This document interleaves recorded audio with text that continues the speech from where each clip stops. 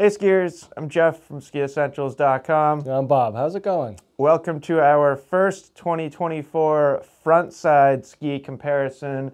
I know a lot of people have been looking forward to this one.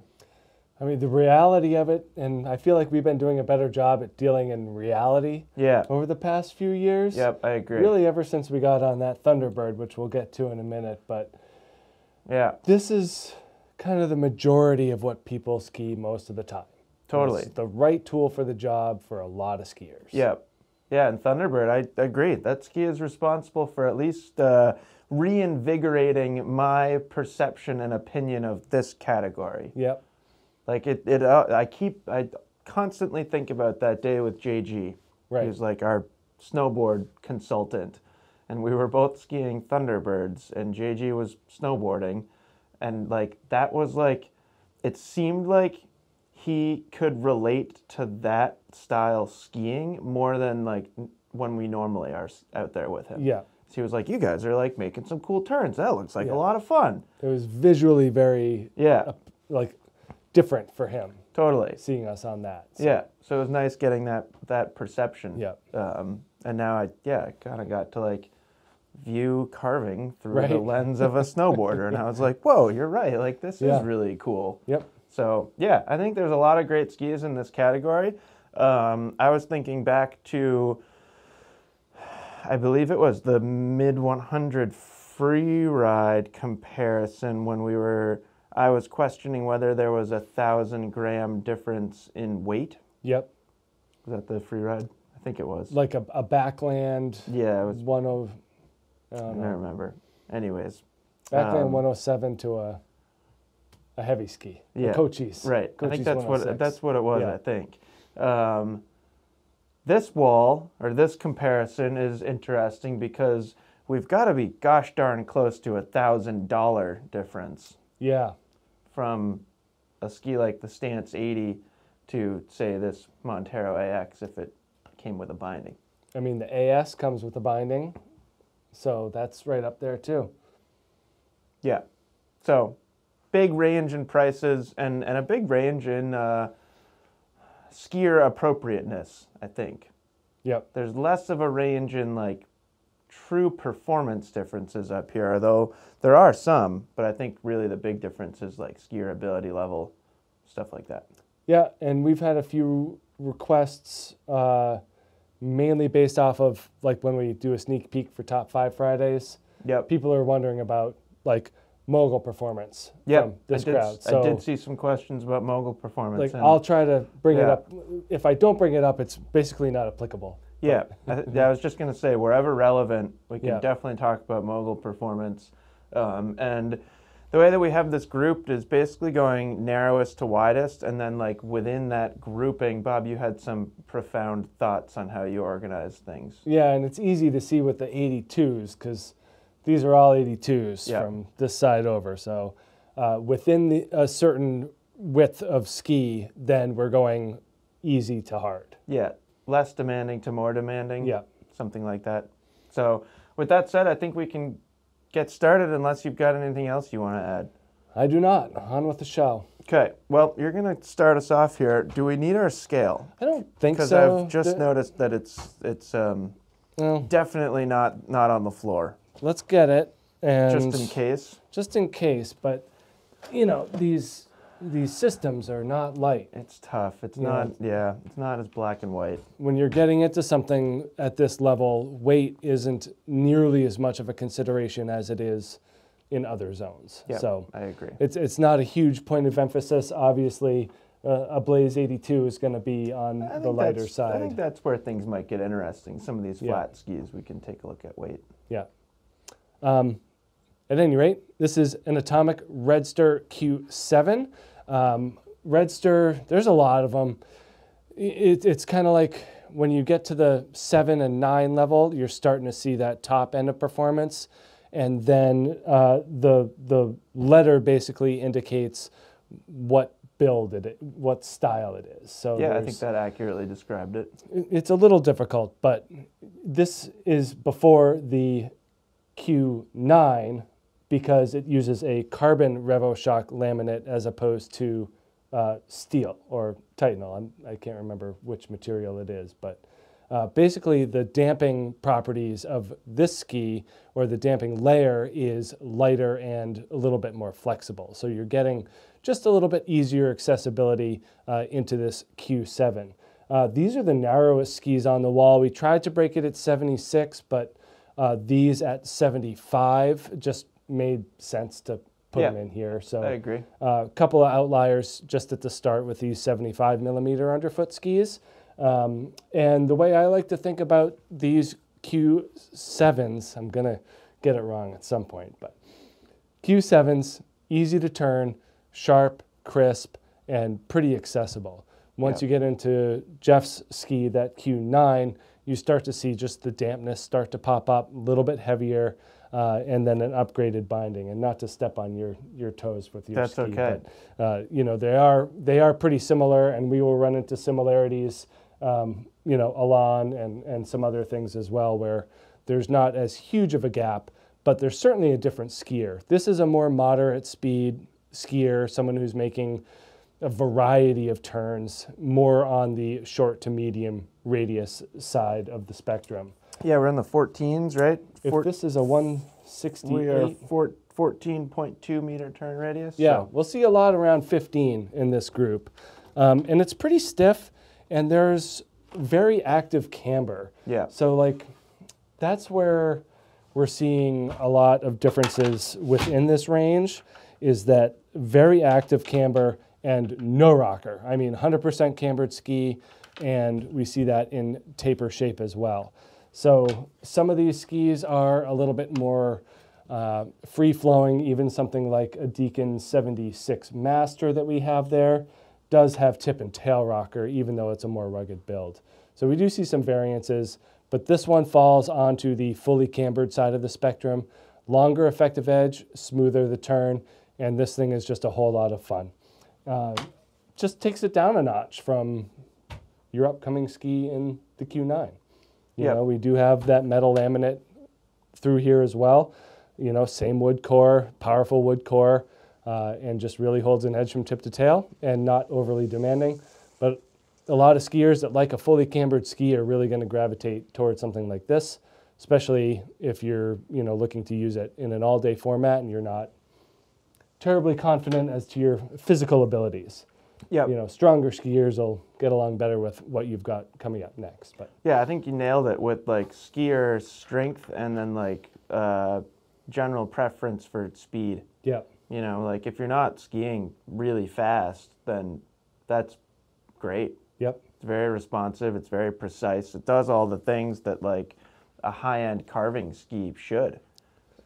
yeah, and it's just a little bit easier. And Yeah. that's kind of that's the point. You know, it's n- not everyone has a race background. Right. And so that's where something like that, where you have a, a very similar shape with two skis, but one of them is slightly more accessible. Yeah. Or you're maybe you're getting older, slowing down, Yeah. something like that, but you still want the same like overall feel that you've benefited from and enjoyed in in a precise front side ski. Then I I think this is awesome. Yep. And like it was I mean, you could you can vouch for this like when we were going through these skis and kind of like refreshing our, ourselves or more me refreshing myself like I, I was it was nice to get a reminder that this is a, a real ski Right. because I think when you look at the Redster line, like you were saying, there's so many skis in the Redster line that when you get down, which I think is fair to say, like you have to move down in the catalog physically to reach this ski. When you move that far down, it's easy to think like this is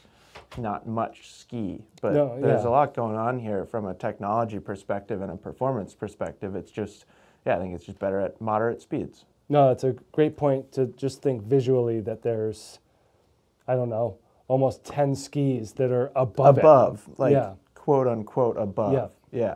It's a lot. It, it is a lot. And that's probably excluding fist skis. Right.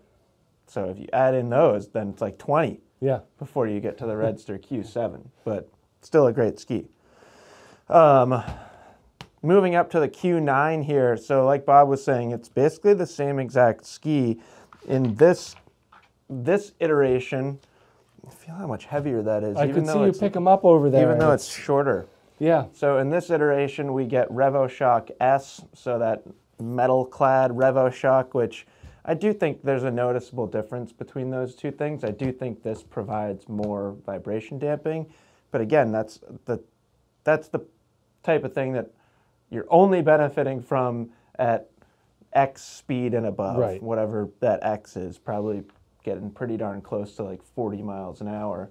Um, and then this, this ski really does have a, a significantly different binding system. We've looked at this before. I think my favorite thing about this binding system is how it sits in this track. So with a ski like this, 75 underfoot, obviously edge angles and, and kind of like dictating leverage and forces Yeah. it matters quite a bit. And I've, I've always enjoyed that for those that are achieving a high edge angle, if you're really driving the ski, it feels like there's like one extra point of connection between you and the ski because you're not just like pushing, there's a little bit of like pulling up Yeah. on your outside edge. And I just think that's really cool. Um, it's really not like noticeably stiffer than the Q7. I think No. like where you it feels that way because it's a little shorter totally and a little more of a dead spot underfoot. yeah, but really where you where you feel the difference is in its its weight and then that vibration damping. We had a media shoot that they are watching some of the footage of right now, and we had uh, John McIntosh, who we've referenced before, great skier, uh, like longtime Alta local, and I'd say it's fair to say that he's slowing down now. He was skiing the Q7, and uh, our one of our atomic reps, who is a big, strong guy, uh, race background, he was skiing the Q9, Yep. and it's like just watching that footage, it's a pretty good representation of what type of skier is going to benefit more from from each ski. If you're big and strong and heavy, then I would venture a guess that you're going to prefer this, but that also kind of comes along with like you should be skiing pretty darn fast too. And we, we mentioned moguls at the beginning of this comparison. I would say neither one of these skis is particularly good in moguls. Not ap- not applicable. Yeah. I mean, if I had to choose one, I would choose the Q7 because it's Yeah. lighter, but n- neither one to me is, is really very good at all off trail. Yeah. And like that's fine. It's 75 underfoot. Like Right. It's built like a race ski. Yeah. yeah. Atomic's the same company that makes the entire Bent collection. Right. So this ski is not. And like they've got the 7.8 and 9.8 versions of these skis, which if you want this style skiing experience, but you want to go off trail, you can just move to those skis and a little wider. Yeah. And width isn't everything, you know. We'll, we'll see some skis through here. Like Stance 80 is probably the closest one to me that does great off trail. Yeah. So shape plays into it too, but with a ski like this where it's pretty stiff, pretty narrow, and with a front side focused shape, I think it's best as a front side ski. I agree 100%. And as it's our narrowest on this wall, that just kind of keeps it more in that in that category for sure. Yeah, and I think like just in general, kind of speaking to comparison or the comparison side of this comparison, I think this ski is it's right there with things like the Thunderbird. Yep. Um, maybe not the Deacon 76 Master, but the non-Master Deacon 76. It's a very similar, like rewarding skiing experience. Yeah. Rally, you know, all these skis are, are pretty close together in, in waist width, and I just think they all have like that super precise, quick edge to edge performance. That's that's really fun for a frontside ski. Yeah, and I think I like I've been using the word planted a lot lately. Yep. Like skis that are fully cambered like that that have that solid underfoot feel, have that more planted feel. And we'll even see that up here. You know, Fischer is one of the ones that kind of brings that to light in the in the wider Yep. section. Totally. Yeah. skis that like to be engaged but on the snow pretty specifically. Yeah, and I would say Q9 feels pretty darn planted. Yeah. You know, like I'd, I'd say like Thunderbird is a little different. It's Yep. like less planted. Yeah, It's more yeah. responsive and like snappier. and Like, that's one of the reasons why like I, I I won't speak for you but like why I would gravitate towards the Thunderbird as my own ski just because that fits my style a little bit better. yeah, yeah, I think we've all been excited about this one. We've certainly heard about it in the comments. This is the all new Stockli Montero AS. Uh, and we got on this thing last year uh, and we're pretty amazed at how they possibly make a ski like the AX, but make it that much quicker. This is our foray into 76 millimeters now. So it's interesting now they have Montero AS at 76, they got the AX at 80 and the AR at 84. So they share constructions and they share general footprints, but they're just scaled down. Yeah, and then slightly shorter turn radius here, but Yeah. I wonder if people have a false perception of this ski from turn radius. Because the S, the S throws me off. Like I feel like it's going to be 12. Right. But this one is, in a 172, this is a 14.8 meter turn radius, which isn't quite slalom. Right. But in the catalog, like AS, I believe, stands for all mountain slalom. I thought it just meant short. I think it means all mountain slalom. Um, and then for reference here, the 173 AX is 15.5. So it's not like a world of difference, but I agree. Like this feels, this feels m- more quicker than I would expect from the difference in turn radius and a four millimeter difference in waist width. Yeah, I found it to be pretty relative in terms of the movement from AR to AX to AS. Yes, I think that's I good think it, I think it's an equal Yeah. change. Yeah. Um, so, and that's kind of what we've always talked about when people are asking to compare AX to AR, and it's like it's a very, very similar feel. Yeah. You're, the AR is just more comfortable in longer radius turns and at higher speeds, whereas it gets the comfort level just gets to more of the mid range as you go to the AX, and then the short range here in the AS. Yep. Uh, so that's really the only difference is it, the ski's level of comfort in different turn shapes and styles. Um, this one comes with the color match strive binding, which we didn't, we elected not to put on, but uh, it looks pretty darn sharp. You know, we've seen it in, in the AX and the AR as well. And from a visual perspective, it's, it's great. And, you know, nothing wrong with the binding at all. Certainly helps to have that, that system. Doesn't really improve performance over putting, a, you know, you have a pivot on your AX Do. and you could put any other type of marker race binding or whatever on this thing, but I was gonna even say like, well, I guess the break width is an issue. You put like a royal family marker binding on Yeah. there. It's like again, like the break width is kind of the biggest factor the, there. But the toe starts to get a little wide, like the Yeah. AFD. But um, no, I think that I think that the the strive makes sense, and just keeping it more light. Yeah. Like that's kind of the benefit of this, and what I found to be the most fun was yeah, just really being able to snake those quick turns. I think it's nice having a low stand height on any Yeah. Montero too. Where Yep. a lot of the skis up on this wall, like it's great that you're picked up off the ski. It gives you more leverage, but the the skis themselves are so supple and smooth that like being really close to the ski is, Yeah. at least for me, it's really nice. Um, same construction applies here with the light wood core, two sheets of metal, our favorite rubber dust and the and the adhesive laminates. So it very much has that AX and AR Montero feel to it, um, just in that quicker in that quicker format, and it comes through in the profile as well, where we're seeing this super long camber.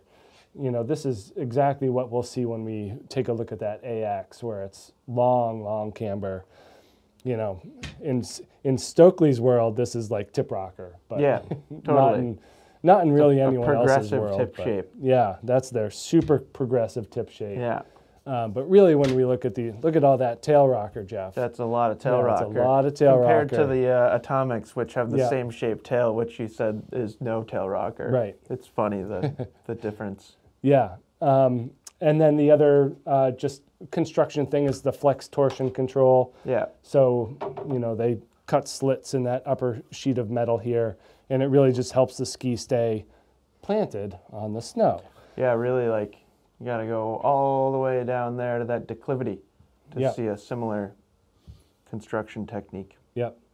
Uh, I will bring mogul performance into this ski as it does have that little bit softer of a shovel. So if you're looking to drive your tips into the moguls and have that nice quick edge to edge release, uh, this is amazing.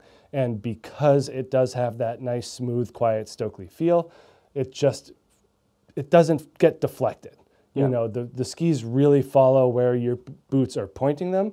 We still are getting that same Stockli precision and quality, uh, and just a very smooth overall ski, but still like incredibly sturdy. Yep. You know, that's really the best thing about these skis in general is just how quiet they are. Um, didn't feel a whole lot under my feet skiing them. Uh, I think I could be wrong, but I think this was the size that I had to ski, and a little short for me. But the the most time that I spent on that ski this past season was also in like slightly more variable snow Yeah. conditions than I would have ideally hoped for. Um, so I'm actually like excited to ski it again. right, You know, on like on those like perfect Perry Merrill mornings, like that's where I feel like that ski is really gonna shine. yeah, I I'm curious too if I get on a longer one and start to open it up a little bit, where that comfort level for someone my size is gonna diminish. I think you're gonna find that that break point sooner than later. and as since I'm accustomed to the AR in the That's- 185. That's yeah, that's Yeah. kind of why I feel that way. yeah, and I'm not going out there with the same expectations. So No. I think you got to kind of temper. No, temper and that. yeah, I think a little, it, it, I think it's very fair to say that um, although you brought up mogul performance, I think like AX and AR are more versatile skis. Yeah, Like this is this is a little bit more focused on just that edge to edge quickness and short turns and responsiveness on a groomer, where like those are those are great all- all mountain skis. Right. Like, you know, I also generally defer to your mogul expertise over mine, but to me that's a better mogul ski. The AX. yeah, I would probably I would probably choose that if I were entering a competition. a mogul competition over this. Yeah. Yeah, so makes sense. Yeah, just a little bit more stability. A little straighter, you know, Yeah. obviously it's a marginal difference, but a little straighter, a little wider. I think just a little bit more forgiving when you're not on a perfectly manicured, groomed slope. Um, and then here's that ski that we kept referencing as kind of helping reinvigorate our enthusiasm for this category. This is the Thunderbird R15 from Blizzard. Um, largely the same ski that it's always been, although they've like they've ticked it up up a notch or two in terms of its like true ceiling. Yeah, Um, something that I think is interesting is this ski used to share the same footprint with the Firebird HRC, and the Firebird HRC was closer to like World Cup construction, leaving this like more consumer. But like skiing them back to back, they were really, really, really similar. So so much so that it was legitimately hard for me to Yeah. like truly differentiate between the two per, for performance. And they've since changed that Firebird HRC. So now like it puts this ski in, in more of a singular position in Blizzard's line, or at least it's it's more clear who should be choosing it, and who should be choosing it is someone that wants like an awesome, awesome frontside ski that's a little wider than a true race ski, 7,600 foot. Um, but I at least find that it has a lot of similar properties to those Firebirds. It's Yeah. not it's not too many steps behind. no, and I, I like how they did it. They even came out with the R13 this year. Right. which is a shorter turn version of you know if they're if we're simplifying things this is the gs thunderbird and the r13 is the slalom Sure, but this is a 15 meter radius, Yeah. hence the R15, um, and it's just super super fun. I think there's like a lot to be said about the 15 meter and shorter turn radius, which like is it's most of them yeah. evident in a lot of these Yep. skis because it it just comes across the fall line so easily. But like this is a stiff, strong, powerful ski. They've got this active carbon armor that I think stiffens it up even more throughout the mid body. It's a real binding system. You know, it's an XL binding on here now. It's like the true race Yeah. binding. that's the that's the upgrade for Yeah. for this year for sure Yeah, I mean, it's not like a, a race plate. It's not like we're drilled into a piston plate here or screwed into a piston plate, but yeah, this is a this is a very high-end binding system and I don't know. I just find the Thunderbird R15 works so well cuz I've never I've never reached a point where I have pushed it too hard. I don't I don't think I even have that ability. But it's it's easier to get to that super rewarding like experience as a front side ski on this than it is for me on Deacon 76 Master. Um, even rally, I think like there's something about this Thunderbird that just like it's easy to achieve, and maybe it's the True Blend wood core. Like they are Yeah. doing some cool things with how they're controlling stiffness in different portions of the ski, and as a, as a single entity, it is very stiff, but you can feel a little bit more suppleness in the tip there. So if I had to point to one ingredient that makes me feel that way, I suppose I would point to True Blend. I yeah, I agree, and I think it's just a little bit more open and willing Yeah. versus your your rally point there, Yeah. where They're very similar The- skis on the- paper. yeah, the rallies it's a little more closed-minded. Yeah. you know, this is a little bit more liberal in terms of accepting your input and And like input or lack of input. right, Like it, this ski can relax a little bit more than I think something like a rally can. yeah, But you know, you also get trade-offs. Like I would say that that if we're talking about true performance ceiling, like maybe the rally ticks a notch higher. yeah, So, but like I said, like I don't think I've ever found a limit here for myself. no, Maybe in speed, because it is you know shorter turn radius. It's not just gonna run, but like nothing up here really is what much over 17 meter turn radius. well, maybe this Brahma 82. Even that, I think even that's a shorter six, arc. 16.5 is my guess. Yep, you're right. What do I win? It's not a guess. You knew. Fair enough. my educated guess, my very educated guess. This might be the straighter of But the anyways, group. like we're not gonna see. There aren't many Yeah, skis in this range. this is that- 18 and a half. There you go. So that that must be the longest one. I think so. But yeah, I mean you can ski this really really hard. It just it won't make like a super G turn Right. because it is a, a shorter cut. Yeah, and if you do want it to go faster, you kind of have to adhere to a lower edge angle, and that's I found that to be true about Yeah. rally as well. Yep, I think really a lot of these skis, um, just ski a flatter ski and let it let it run. Yeah, plenty stable, plenty of strength. Totally. Yeah. No, that's and that's like. I don't actually think that anybody was overlooking this ski because of the Firebird HRC, but it was like I would get hung up on it, like just kind of looking in the catalog. But like this is, this is really all all you need.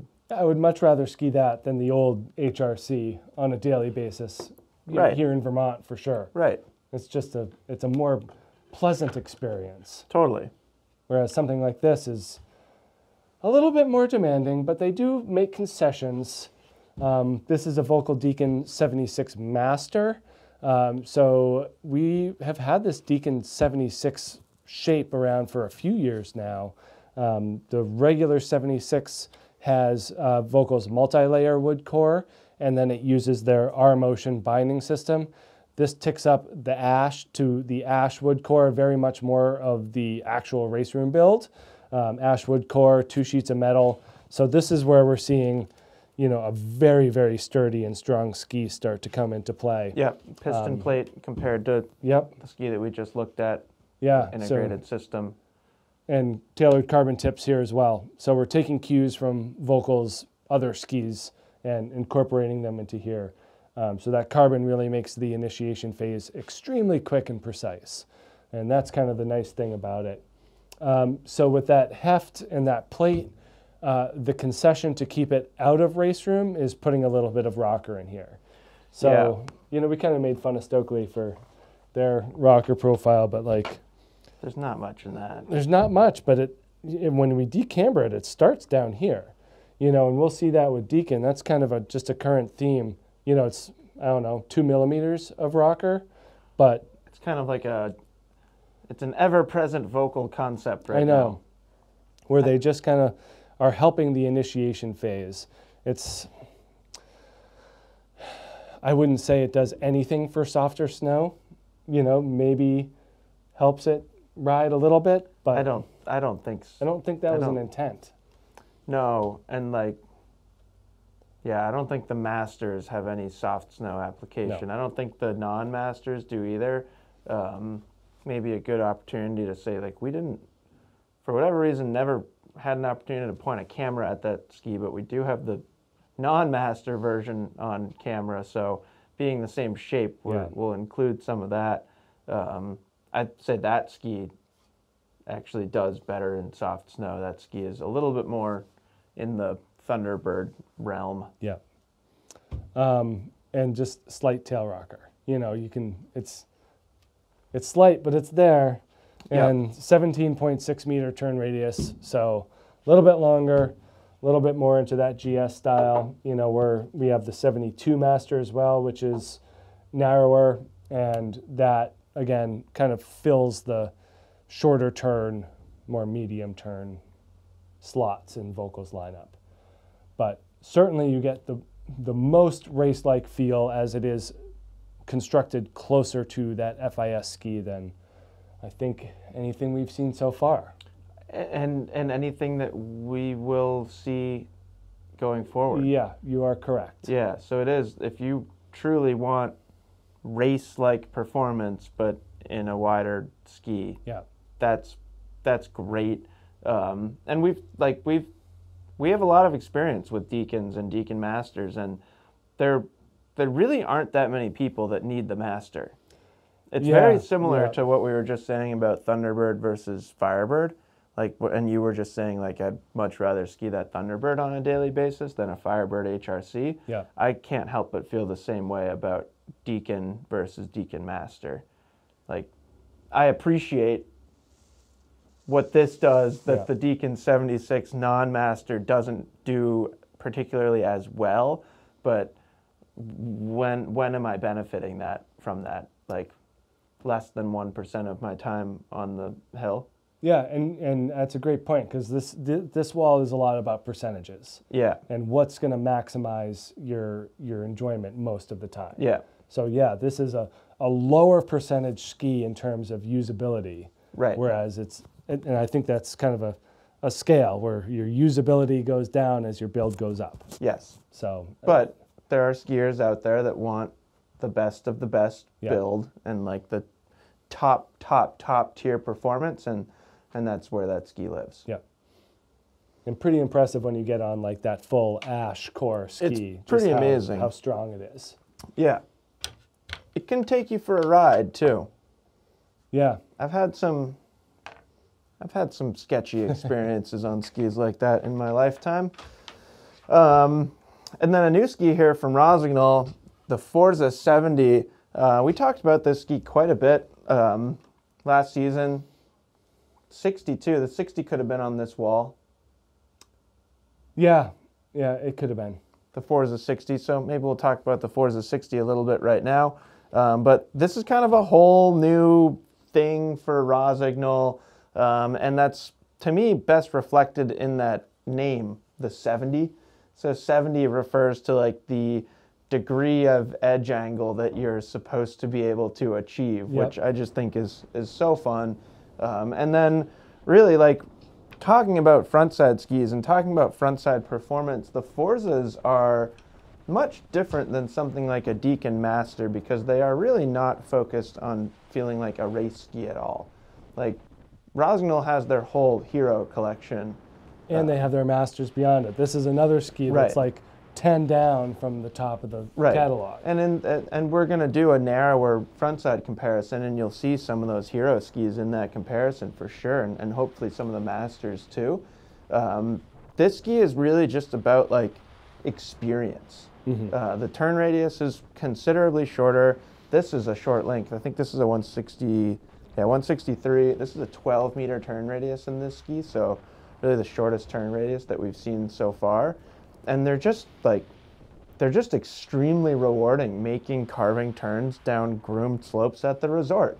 It's really it's not trying to be a race ski. Like I think just the width up here and the shovel, it's kind of like throwing it outside of that race world and putting it squarely in this just like fun-loving frontside world. Um, and yeah, just an insane amount of fun. I could spend 50 days this season on a Forza 70 and I would be perfectly happy about that. Um, I do think the 70 is somewhat, not, maybe not demanding, but like it kind of is one dimensional in what it wants to do. It wants to just carve.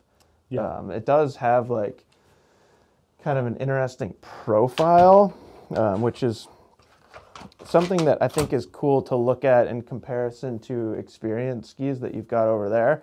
So there is some tip rocker in this ski, but there's no early taper whatsoever. No. So, you know, talk about like mogul performance or anything like that. This is a really catchy shape. If you're not carving, if you're not at a high edge angle, it's it can be a little bit of a handful. The concession is the, the more flexible shovel. You know, like Totally. Yeah. concession with the deacon was the was the rocker. The concession here is just a little bit more amenable of a flex. Yeah, so the construction in these skis is pretty interesting, and it's really not like not trying to be World Cup construction. Mm-hmm. The one of the kind of key elements to this is they use what they're calling V titanal. So they're they're basically like making the titanal layer three dimensionally shaped, so they have a little V cut right down the middle of the titanal, which is if you imagine like if we talk about this every once in a while, like if you have just a flat sheet of thin metal, it's very floppy Yeah. just putting that V in it, all of a sudden you could take that same sheet of metal and like hold it out straight and Right. it wouldn't just flop over. So they are kind of working some stiffness and responsiveness into that V. But yeah, it's not like, it's not a soft ski, but compared to something like a Deacon 76 Master, there's a nice suppleness to this flex. And then really like everything that we're saying about this ski pretty much carries over into the 60, but the 60 has more taper, really most notably in the tip. Yeah. So it doesn't like rip you into a carving turn like the Forza 70 does. Uh, it still carves really well, but it is it's a little bit more, definitely more approachable, and I would say it's arguably more versatile too. it has some of the experience shaping properties and the tips and the tails. Yeah, from a taper from a perspective. taper perspective. Yeah, and I would say actually even more Yeah. than an experience. Is it's it's almost like the tip looks like an old experience, Right. Or the at least the previous generation of experience skis. But Forza 70 is super fun. 78 underfoot, so we're starting to tick a little wider here. Uh, and this came up multiple times when we were down in Boston at the Snowbound Expo, Sure Um, which like I thought was really cool. I love when people like have found the ski that really makes sense for them, and we talked to numerous people that were like, "I love the Forza 70," and we were like, "Good, yeah, like you found you found the ski that is best for you." I like it when the progression of like development and marketing works Yeah, properly. yeah. When think it did Rossignol here. came and introduced these to us last year, we were like, cool, like we're psyched that you guys are putting emphasis into this this wider front side category. Yeah, And so we are like, great, that's you know the development standpoint. And then when we got them this year and filmed them and did a review, we are like, wow, these are really fun. They do what Rossignol said. Right. And then conveying that to a skier, a customer. yep. And, And then coming like, full circle to hearing that customer's feedback and Yep. experience, and it pretty much aligned perfectly with what Rossignol said in the first place. Yeah, it's nice when these things happen the way they're supposed to. Yeah, which isn't always the case. Right? Like, we bring it, we've brought it up multiple times, say with like Volkl Blades or Blizzard Hustles or something, where like what they describe on paper isn't Yeah. exactly reflective of what people end up using those products for. But they pretty much nailed it here. You're going to use a Forza 70 for achieving 70 degree edge angles or higher. Higher. What was the record? I don't know. Did I have the record or did you have the record? I don't remember. Uh, this is a ski that inspired us to get the carve. Someone was over thing. 80. Maybe we both were over don't 80. know, like the I want to say I got 86 it was almost easier on like a kendo than because it's a wider platform wider and you can just you can truly get to 90. yeah. Yeah. And another side note on that Forza, uh, I enjoyed it a lot more in the 173 than the 181. I found the 181 to be a little bit long for that intended cut. So Yeah. it worked well for me in a shorter length. It's less of like a skier size thing and more of just like the the purpose of the ski. Yeah. Yeah. But like you probably like it in the 173 too. That's what I mean. Yeah. Yeah, exactly. And I always think that's really interesting when you and I land on the same length. Yeah. Like it, it I feel like that's usually pretty reflective of this ski is best in this length for Yeah. most people. I could definitely see going shorter. Yeah, and we had to go shorter with the the 60. Yep. Uh, they didn't have the longer lengths available, so I think I skied the 60 in a 171. Yeah, that Didn't have right. the same experience as Sure, on the 173 and the 70. sure. And this is another one where it tops out at 177. This is a Head Supershape e-Rally. You know, the intent is to be making these mid radius carved turns uh, planted in the snow. This Um, one's pretty planted. Yeah, we both picked up a pair of these last year, mainly to do a protector binding uh, comparison, review, first look. I don't know what you want to call it. Comparison. yeah, Back to back with a PRD. Yep. So we had one ski with a protector, one ski with the PRD 12, uh, noticing any performance differences, and kind of like what we talked about with the Atomic, uh, that increase in the binding platform area and weight does make skis like this feel a little bit more at home in a carved turn. Yeah. Um, so before we kind of get into that, we'll stick to the ski. Uh, another one that's 78 underfoot, uh, similar to that Forza. So we're getting into that wider carving format, and the reason why this is on this side of the wall uh, for the Forza and the 78s is because this one adheres more to that World Cup sandwich construction. So nice tight stringers glued together, two sheets of metal, uh, and then we got graphene in this ski as well to stiffen it even further. So much more of a traditional build, whereas that Forza has kind of that uh, modern high-end recreational style. This is a lot more descendant of their race skis.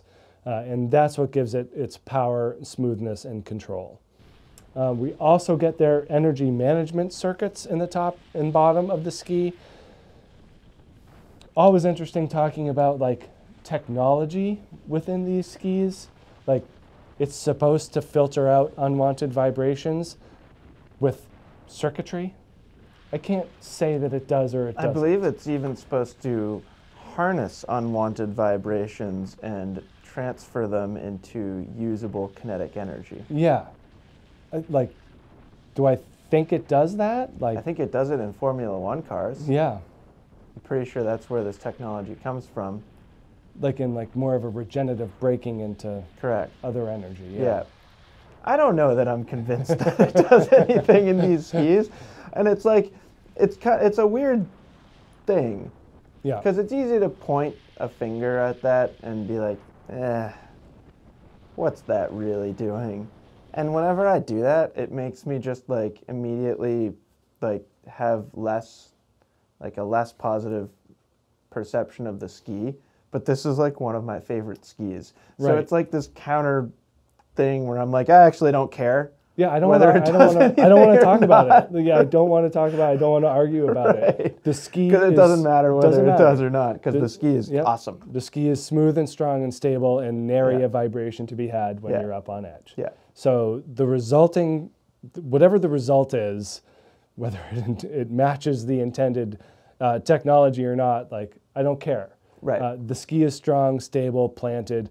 Really loves to be rolled edge to edge. You know, it's not like you're getting the most energy, even like versus that uh, that Forza. You know, which is Well, like I think I was gonna say Thunderbird. Thunderbird feels like it's more energetic. Yep, you get a little bit more pop out of the turn. Yeah. Um, whereas this thing is is more of just that planted roll to roll cruiser. Um, you know, I kind of equate it to the Fischer. If we had that uh, the 86 up here, that would even take it to the next level. But even the 82 really just feels like it's just a real smooth roller uh, from edge to edge, and that's kind of where this rally comes into play as well. Um, similar to what we've seen with a lot of these other skis, there's not a whole lot to talk about in terms of rocker or taper. Uh, this is one of the most least tapered skis on the planet uh, from tip to tail. Except for this one. That's why it's Yeah. one of the least. One of the least. Not the least. and then metal in the tail. Side cut goes right to the end. Very impressive. Uh, 14 meter turn radius in this 170.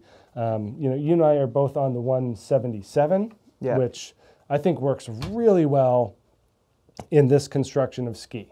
Yep. You know, it's it's on the heavier side, and so you don't you're not you don't need that extra length in order to make up for it. So you're getting the stability and power, and you're not having to really kind of muscle around the front of a of a much longer ski. I think I'm probably more of a 170 skier. You think this would be more your length?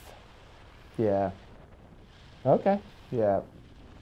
I had fun on the 177, and Yeah. I like it. And it actually like, considering the things I use it for, I think the 177 makes more sense for me. But I would say on paper, someone my size is generally going to be a, a 170 skier. Well, I think that that's a good point too. Is that there's a lot, there's not a huge, real reason to upsize on any of these skis. Not really. This is one of those ones where if you're caught in the middle, then sizing down is probably more appropriate. Say nine times out of ten. Yeah. Yeah.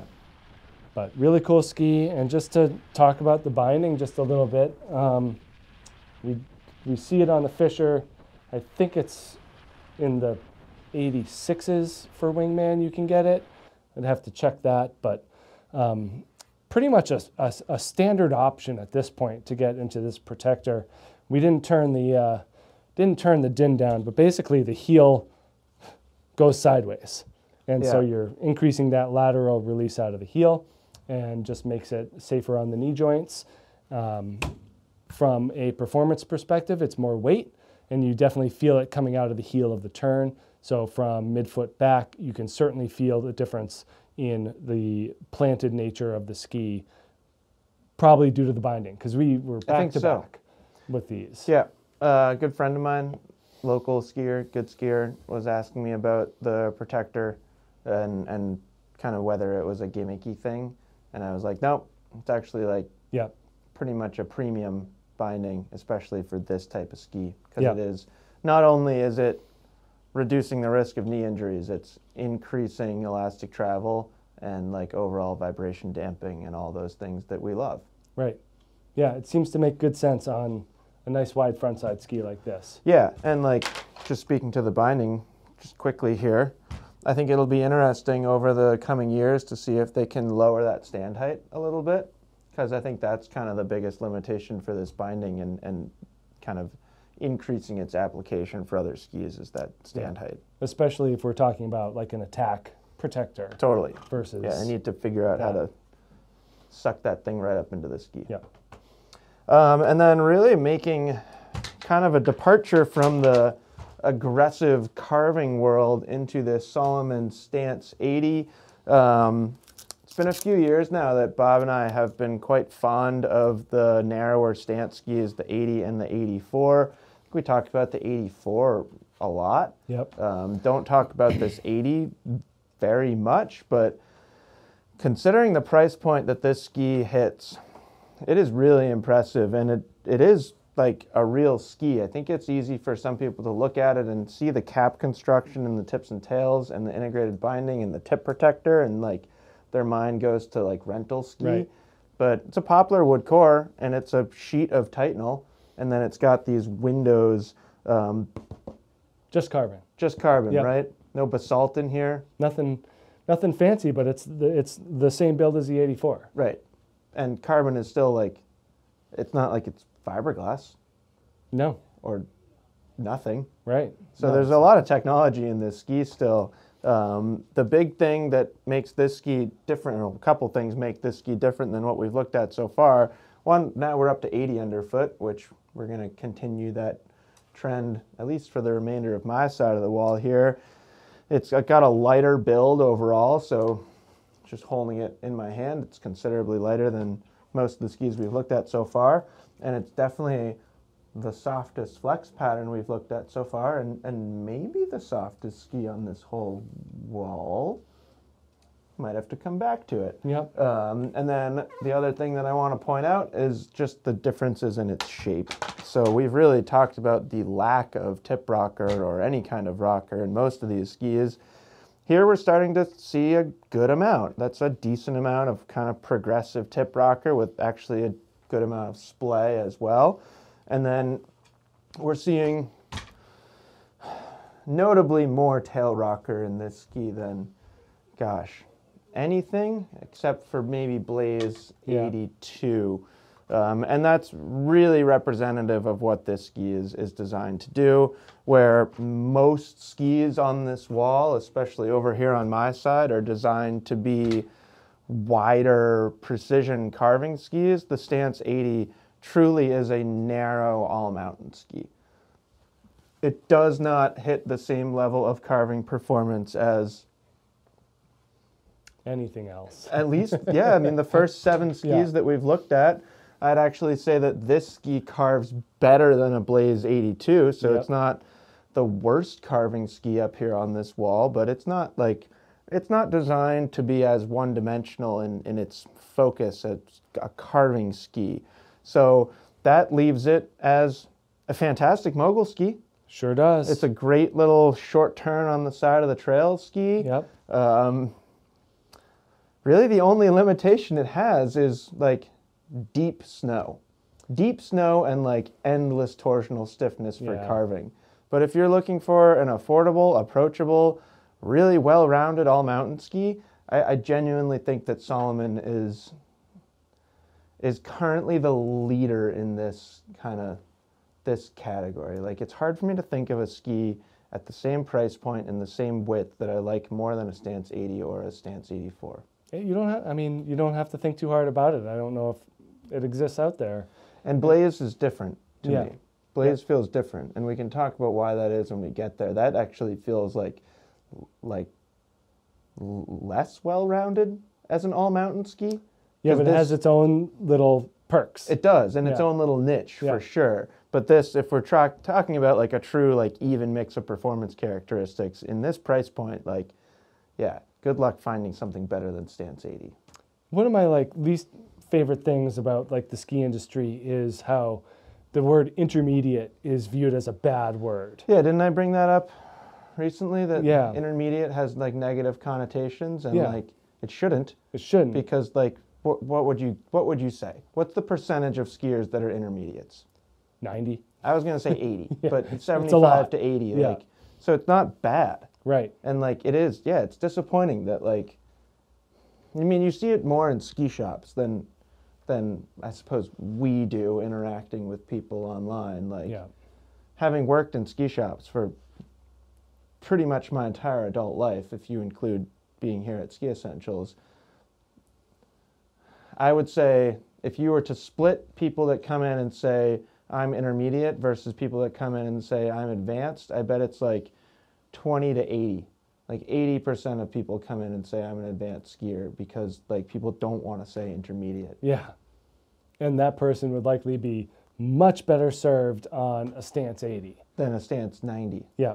which you know that advanced skier is going to get steered towards, or at least the stance 84. Right. I don't know. But Fire- we but we've fired noted we've been Tuesday. noting in these comparison videos that we've, I feel like we've been trying to include more of this intermediate range. You know, even at skis at higher quality, we had like head shape V10. Yeah, Um, there was another one that really st- stood out to me that was uh, uh, Kastle FX86. I mean we got Like- some good ones up here too. Yep, for sure. PX81, I think even Deacon 80 is like pretty approachable. Redster Q7, Yep. like the, and those are the skis that like, I don't know. I feel like we, we could we could stand up here and talk about it as long as we want, but Right. I don't think we're going to convince the masses that like intermediate's not a bad thing. Right. But yeah, I, I just think that there's a lot of room for skis like that Stance 80, and especially when you bring the, the budget into into account, and you're just like, I think so too. this is what I'm getting. This is my first pair of skis, and I'm going for it. I don't care if it's your first pair of skis or your 50th pair Right. of skis. It's still a good ski. Totally. We're This- keep it with the 80s. Yeah, and I bet this one gets overlooked too. Probably less so. I, I talk to more people that are that are really considering this than I do considering a Stance 80. This one gets overshadowed by the Deacon 84. Deacon 84 uses the Titanal frame. Uh, this uses a fiberglass frame, a little bit narrower. So you're looking at, you know, again, I don't like saying lower performance as worse because for No. most people, Deacon 80 is a better option than Deacon 84, mainly because it's more accessible. And there's a lot of people out there that will never touch the ceiling of this. Yeah, Like, totally. I just remember seeing Ryan Daniel skiing on this. Yep. Collegiate racer. Yep. And made it look fantastic. Yeah, he was. He had a great time Yeah. too. He's like, that thing's great. Yeah.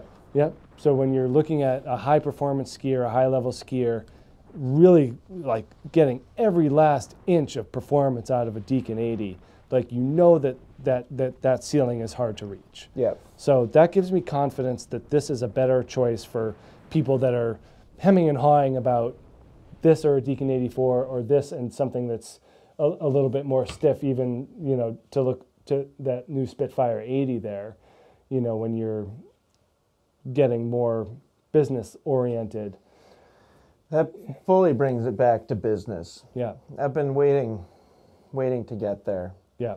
but yeah, But Deacon 80 more, uses more people should ski this than that. Probably, yeah. There's a, and especially if you like a more energetic and more poppy feeling. That's where the fiberglass really comes into play here. You're getting that glass frame, um, 3D ridge. This still uses a lot of Volkl's technology, um, 3D glass, so fiberglass wrapping over the sidewall, uh, putting it in a three-dimensional format, and that's going to stiffen it, just like we talked about with the uh, that V-shaped metal ridge. When you're putting these materials in a three-dimensional format, you're really increasing kind of the workload that that, that laminate is able to adhere to.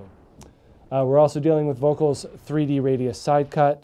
Uh, numbers here 20, 12, 17 in this 162. Obviously, those are going to get longer as the, the length gets longer, but shorter. Sorry about that. Okay. Shorter turn radius underfoot so you can really stay central and just smash out those slalom shaped turns, or you can ride it at a lower edge angle and not lose any stability at higher speeds. I don't actually remember it going to 12. Little short for. It's shorter than I remember, but I mean, I this don't. is a little I've never skied this length either, Yeah. which is, I'm sure, I've never skied the 170 either. I think I've only been on the 77. And because it's on the lighter side, it Yeah. felt a little short. You know, I, I think I'd be 182 in this, whereas in Deacon 84, I'm in between almost. But love the energy out of this thing. You were mentioning binding systems and how they hold on to the ski. This one, these this low ride technology for these bindings, basically you're getting a Griffon that's mounted uh, to a rail system that's integrated into the ski. Yeah. So this is about as direct of a connection as you're going to get from any of these system bindings. Yeah, I think it's really cool. Uh, and it really does make a difference. Like you were saying, there's just that little extra yeah. pickup. Yeah, you got extra leverage. Yeah, extra leverage. Um, and I think that's important for a binding that does sit a little bit closer. You were talking about the protector and Yeah. how to solve the stand height issue. And this is Volkl's answer to that question is you build it into the binding, you build the binding platform into the ski, and then you kind of start from there and work your way up. So pretty cool ski. Yeah, very cool. You know, it's stiff enough. Um, I think Yeah. it's a surprising stiffness. It does make it pretty poppy and I don't want to say twitchy, but It can be twitchy. can be twitchy. Yeah, I think Um, that's fair. And it, and their concession is that rocker. And so we talked about that a little bit with uh, Deacon, and we're seeing the same thing here with this long, like two millimeter rocker profile starting down here, but doesn't make up for a whole lot. Uh, and same with the tail, just Yeah. a tiny, tiny bit, but it is there to help and just kind of move things along down the hill. Yep. And that's a Definitely. nice, nice part about this thing for sure.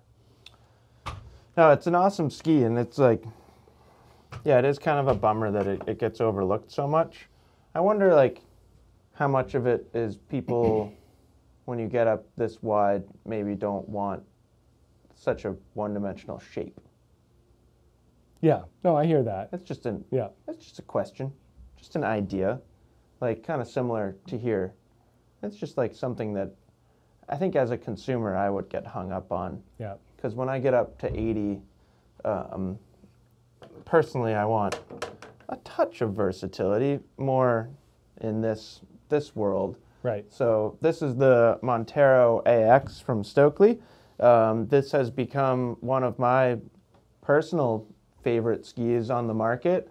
Um, I own a pair, and I, I think it's awesome. It has become like my not my narrowest ski, but my narrowest ski that I ski a considerable amount. Yeah. Um, it is so much fun as a just directional all mountain ski. Basically the same exact build that we talked about back there in the AS. Um, so all the kind of Stockli qualities that you expect, but this is actually one that since we brought the scale, I would like to put it on the scale. Because considering how damp and smooth this ski is, the fact that it's just over 1900 grams to me is pretty darn impressive. Yeah. Um, so it's not like it's not the world's best carving ski. Like that's important to point out here. I think if you're looking to just like maximize carving performance, like I'd rather take Redster Q9. I'd rather take Thunderbird, Deacon Master, Forza, Rally, Spitfire. Spitfire. I would definitely, I would prefer any of those skis Yeah. over Montero AX when just speaking to carving, but it does carve really well. Um, it's a flat ski, you know, so you have the the customization option here. You can kind of take it and make it what you want it to be. And for me, putting a pivot on it, that made it like not just my front side carving ski, but my narrow all mountain ski. So not a lot of tip rocker up here, but again, it's a Stockli. You're never going to see a ton of tip rocker. Although, who remembers the Storm Rider 110 TT? Uh, me. That ski had some tip rocker. Uh, that ski was a monster too.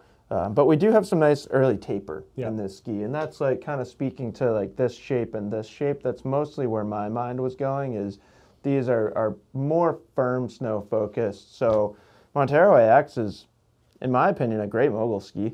Um, it's maybe not as good as AR. Like I think AR kind of takes it to another level, but it's not like punishingly stiff. And I think you combine that tapered shape in the tip with just a little bit of suppleness, and that's where it gets all of its versatility.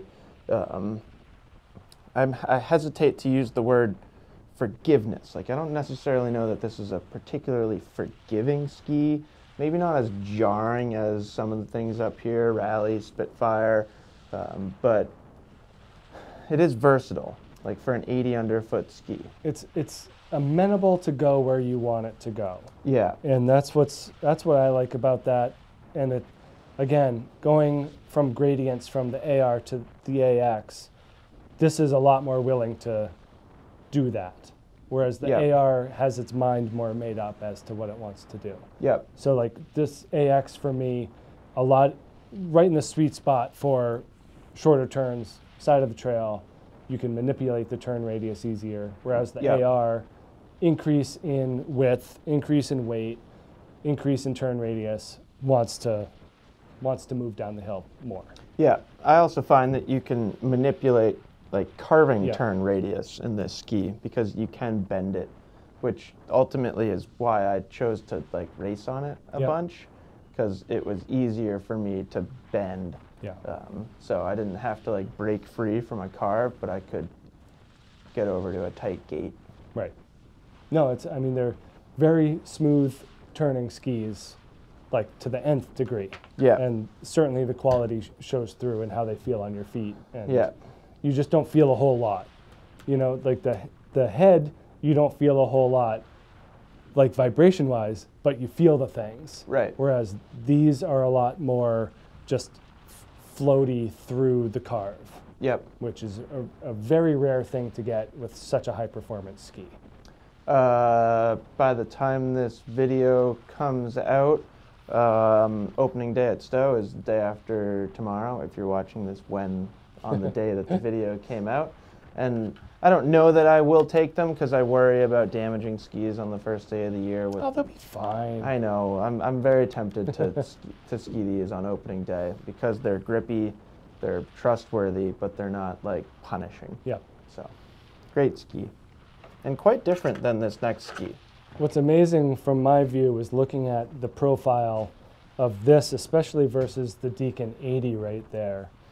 Um, just Yeah. from the, the, the height of camber uh, from this Spitfire. Yeah, I mean we're really going back, like kind of close to like Thunderbird Yeah. world. Um, you know, you can they can't see it from how I'm holding it, but you can ski the, see the amount of camber in this Yeah. ski, and it is. It's just kind of more inspired by a, a race ski. Yep. Um, this is the new uh, Nordica Spitfire 80. They did some retooling of their on-piste skis. Uh, I guess that's kind of a cautious way to say it. They completely overhauled the, the constructions and Yeah, most of and the, the widths. of the widths of We- their yeah, front side Because in. Spitfire we were 72, 76, 80, and now we're 74, 80. Yep. And we've broken Spitfire and Doberman apart. Yep. uh, from a construction perspective. Um, all of them, including the Steadfast 85 that we've reviewed earlier this season, uh, use a double core technology. So they're using horizontal wood laminates rather than vertical stringers. And they're putting uh, metal laminate and a pulse core layer in here as well. Um, the difference, Spitfire is using the single metal laminate when we get into the Doberman and that really cool Multigara yeah. that I hope we have for our narrow front side comparison. It, it was in this building. yeah, I saw it. Yeah. Um, they're using the double metal laminates to go along with the double core. So No lack of stiffness here, though. it's amazing what they get. And, you know, we kind of found that to be true about Steadfast 85. Um, you know, the concession is is the more bulbous shape with the Steadfast, the more rounded shape. And that's bringing Yeah. it into the more recreational and more versatile side of the spectrum. Yeah, not far off in width nor construction, but pretty far off in feel. Totally. And the that height of camber and then this lack of taper in both tips and tails really accentuate the race background. You know, Nordica's Yeah. using their race shaping to get the performance out of this DC80. Well, a race binding too. I mean, the same binding Yeah. system that we're getting over here in, in Thunderbird. Right. But here's that it'll probably squish a little bit because of the because of the binding, but if I hold it up mm. just a little bit to offset, like there's a lot of positive camber going on in this ski. No rocker, fully fully camber, tip to tail, super smooth. You know, again, similar to head where they're using their energy management circuit as this ploy to convince us that the skis are smooth because of that reason. This double core is Nordica's way of doing that, and it works. You know, it just makes the skis feel smoother and more stable and more amenable to carving pretty hard round turns. We spent more time on the 74 this year than the 80. Yep. Um, I've skied the older Spitfire 80 quite a bit in the past, and it's amazing how that felt more like a wide race ski, whereas this has a little bit more of that high end recreation notes versus true race, but there's still that race borrowed from it. I think that they're separating, you know, Doberman from Spitfire uh, with intent, um, but no love lost in terms of performance from this thing. Incredibly energetic and precise, and just so much fun to ski. It's one of the more rewarding carving skis out there because it's wide. You know, I think that the width of this thing is kind of the biggest appeal, where you have a wider platform underfoot, and that's going to support deeper carves, higher edge angles. Yeah. And when you put it in a build like this, it really just makes a lot of sense. Yeah. It doesn't get bogged down No. as easily. No, this thing plows through stuff.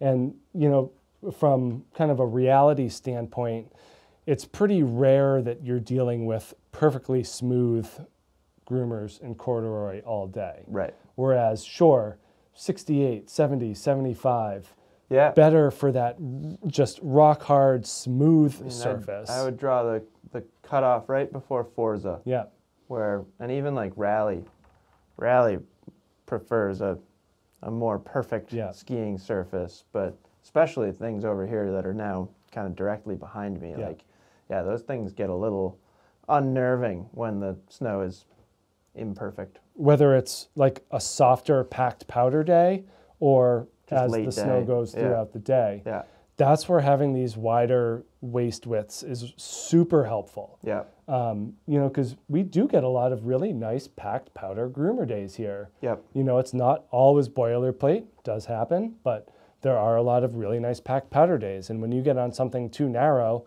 uh, someone like me, I'm going to push right through the Right. snow. right. Whereas this just gives more surface area to stand on and just a more confident carve from tip to tail.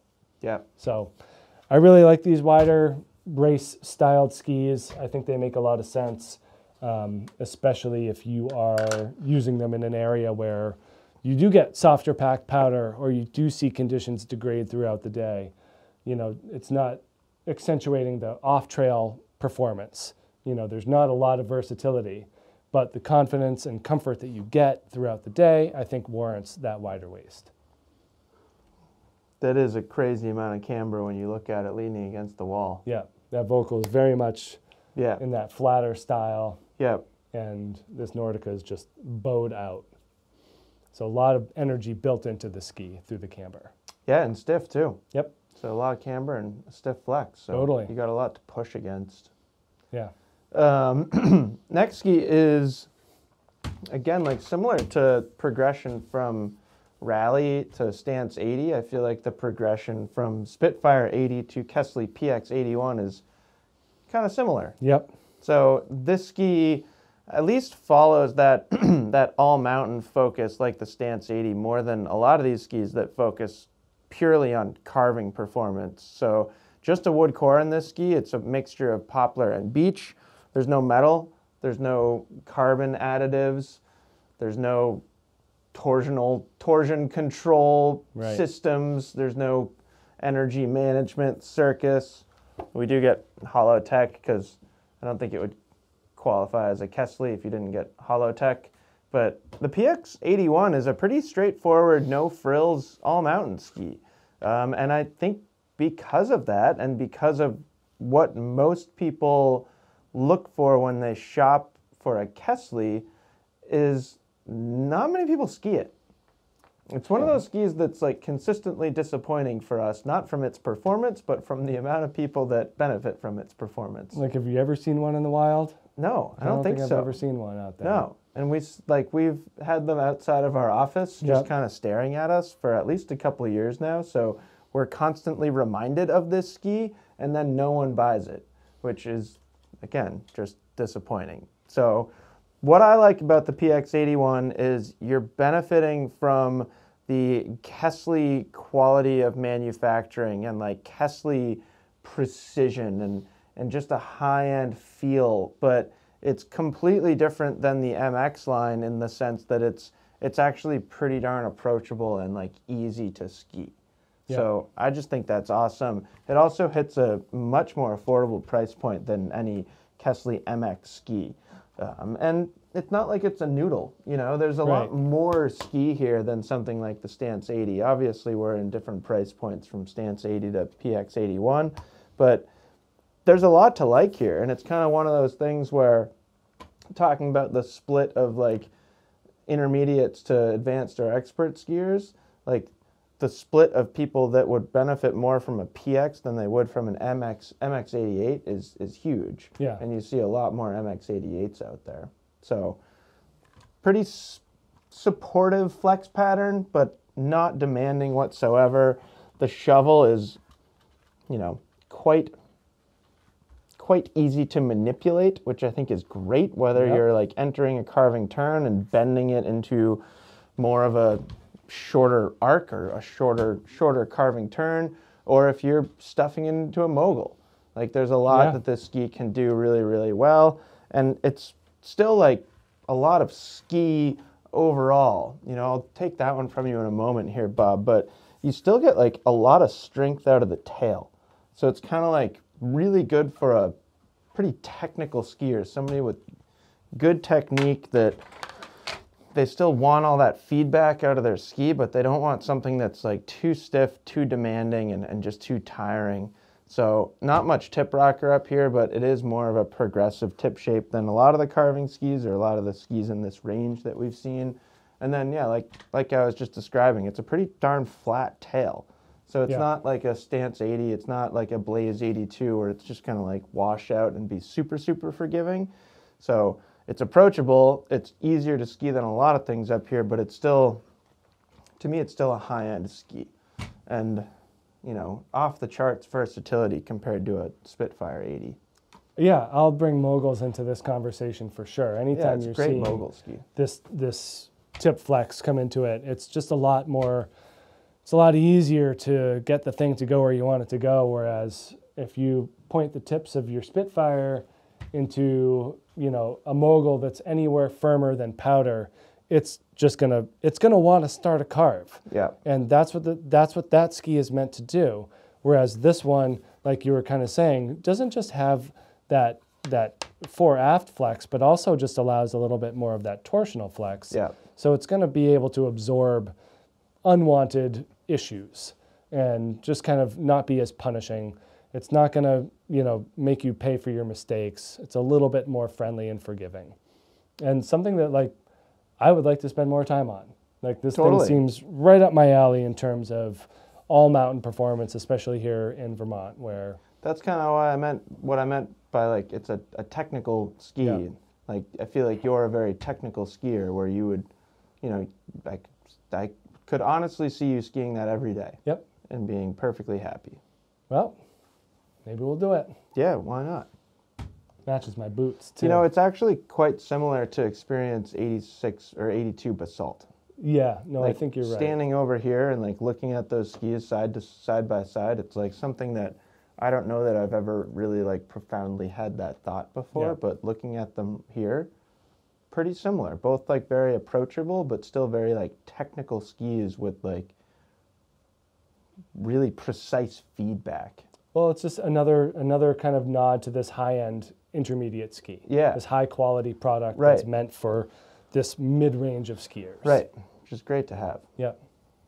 Um, and you know this one, this Blaze 82 fits into that category, but in a different way. Yeah i Um, think so Let's start with this one on the scale, if you want to do that for me, because that's certainly the overarching theme with the Blaze skis is that they are light and incredibly mobile and agile, and that's what's going to give this thing a different level of performance. You know, from on trail carving to off trail bumps and trees.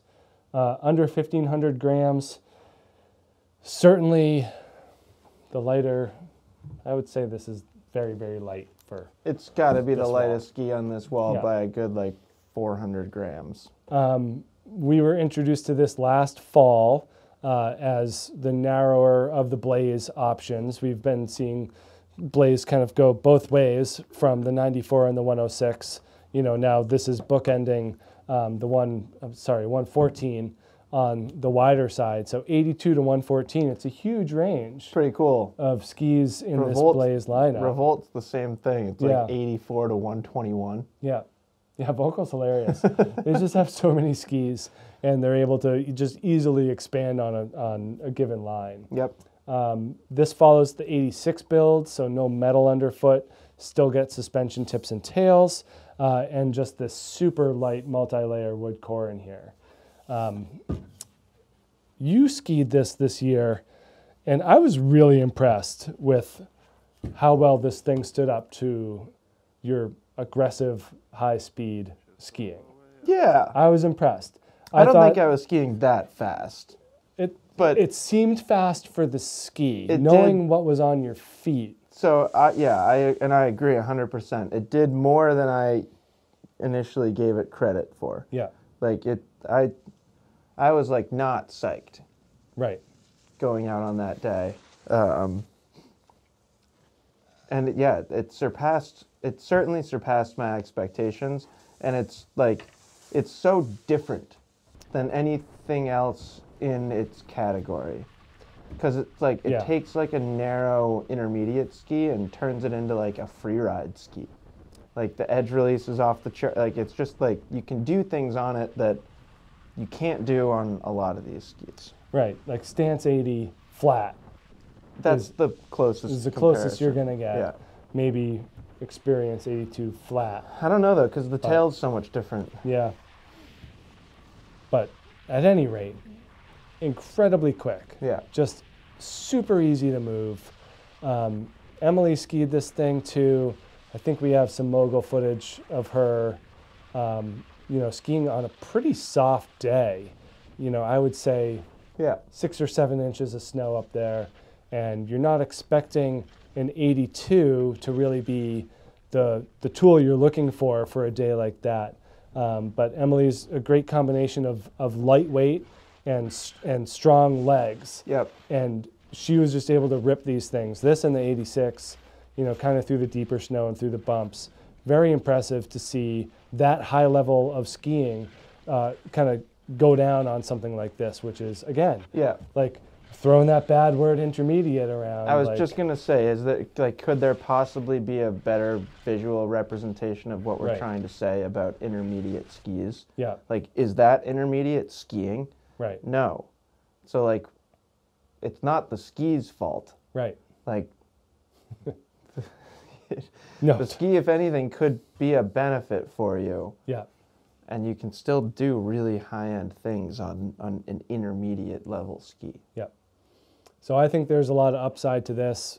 We're seeing that free ride influence. Yeah. Funny to see how a race influence Totally. hits an 80 right there. Two millimeters apart. Yep. And then the free ride influence hits this 82.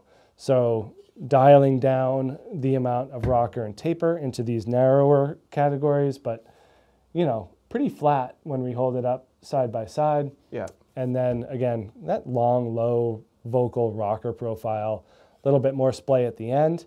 Uh, and then, you know, let's just bring touring into the conversation for a minute. Like this, these Blaze skis, like you were talking about earlier, the intent originally was that Blaze was a hybrid or touring version of a ski.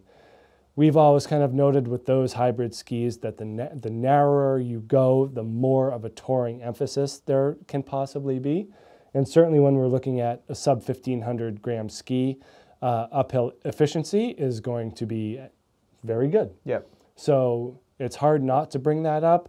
I don't know if this is really the the clientele that's going to be watching this video to say, I want a frontside ski that also tours, and here I am. Yeah, and yeah, But I feel like even like when Volkl was first telling us about that ski, they talked about touring more than they do now. yeah, Because I don't think like there are other options like for that narrow narrow ski touring skier. right. Like you got like randonnée race skis in that category. And they're much lighter than this. much lighter than that. Yeah. Right. So if you're like, if you don't need the width, I think it's hard for like a true touring enthusiast to land on that. And then if you're not a true touring enthusiast, then like what are the odds that you actually put a touring binding on there? Right.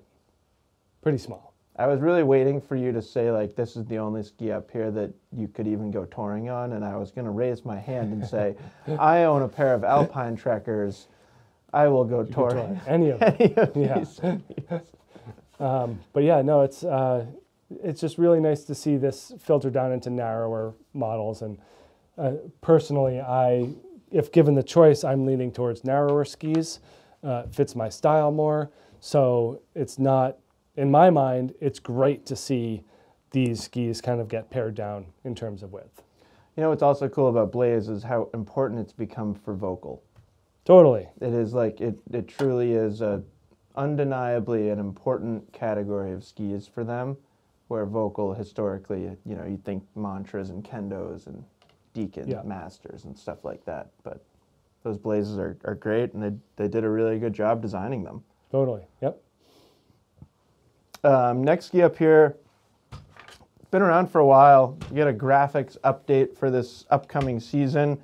Um, I don't think we've got any footage on the new graphic because we had some camera or SD card issues from our Rossignol Media Day, which I don't think I've ever cited before, but sorry, Rossignol. it was a tech, Better luck next year. Yeah, it was a you, get, you know every once in a while if it's like one out of 50 days that we Yeah. have a corrupted SD card, I'd say that's a pretty good Yeah, success right. rate. Um, but this is the Experience 82 Basalt, so you know I'm gonna go out and say it, Bob. I'll say the same thing about Elan. You guys don't need this many skis in this width range. There, I said it. All right. So I think there's a lot of experienced skiers. We're going to see the same thing in Wingman, and you actually see the same exact width. So there's 282s and Yep. 280. Sorry, Wingman there's 386s, but here with Rossignol you get 282s and 286s. Um, and it is nice. Like I appreciate the differences among all those skis. I just think it's very hard for skiers to land on which one is best for them. So Experience 82 Basalt here. I think the skier that this is best for is very similar to the skier that we were describing to start this comparison over in Redster Q7. Excuse me, but you should want a wider ski. So, not that you're necessarily getting soft snow performance out of this ski. In fact, I would say that Blaze 82 and, and Stance 80 have far better soft snow or off piste performance. But it can handle that late day chop, you know, Yep. things that we were kind of using to describe this Spitfire and why you would go 80. It's just nice if you want a front side focused, carving focused ski, but you encounter variable conditions, say more often than you don't, then I think moving up to this this width is really nice. Paulownia wood core, and then it's like really benefiting from basalt rather than titanal, which we'll see titanal in the Experience 82 Ti. Between Paulownia and basalt, this ski feels very light and it feels very, very responsive. And it does so in like kind of an interesting way where I've found that like it's not that you can over flex it, but if you're more of an advanced skier who's really driving the ski, you can like it's not even really overpower it, but if you start to give it too much, then it like it reacts too quickly and then it kind of turns into like a little bit of a twitchy unnerving skiing experience. But again, if you're like sticking to moderate speeds similarly to how we were describing that Redster Q7, then what I'm finding as a, a deterrent of ski ability turns into a benefit. So for that less aggressive skier, for that more moderate speed skier, having a ski that's light and very reactive like this is really nice because you just don't have to give it as much skier input to get the same kind of rewarding experience out of it.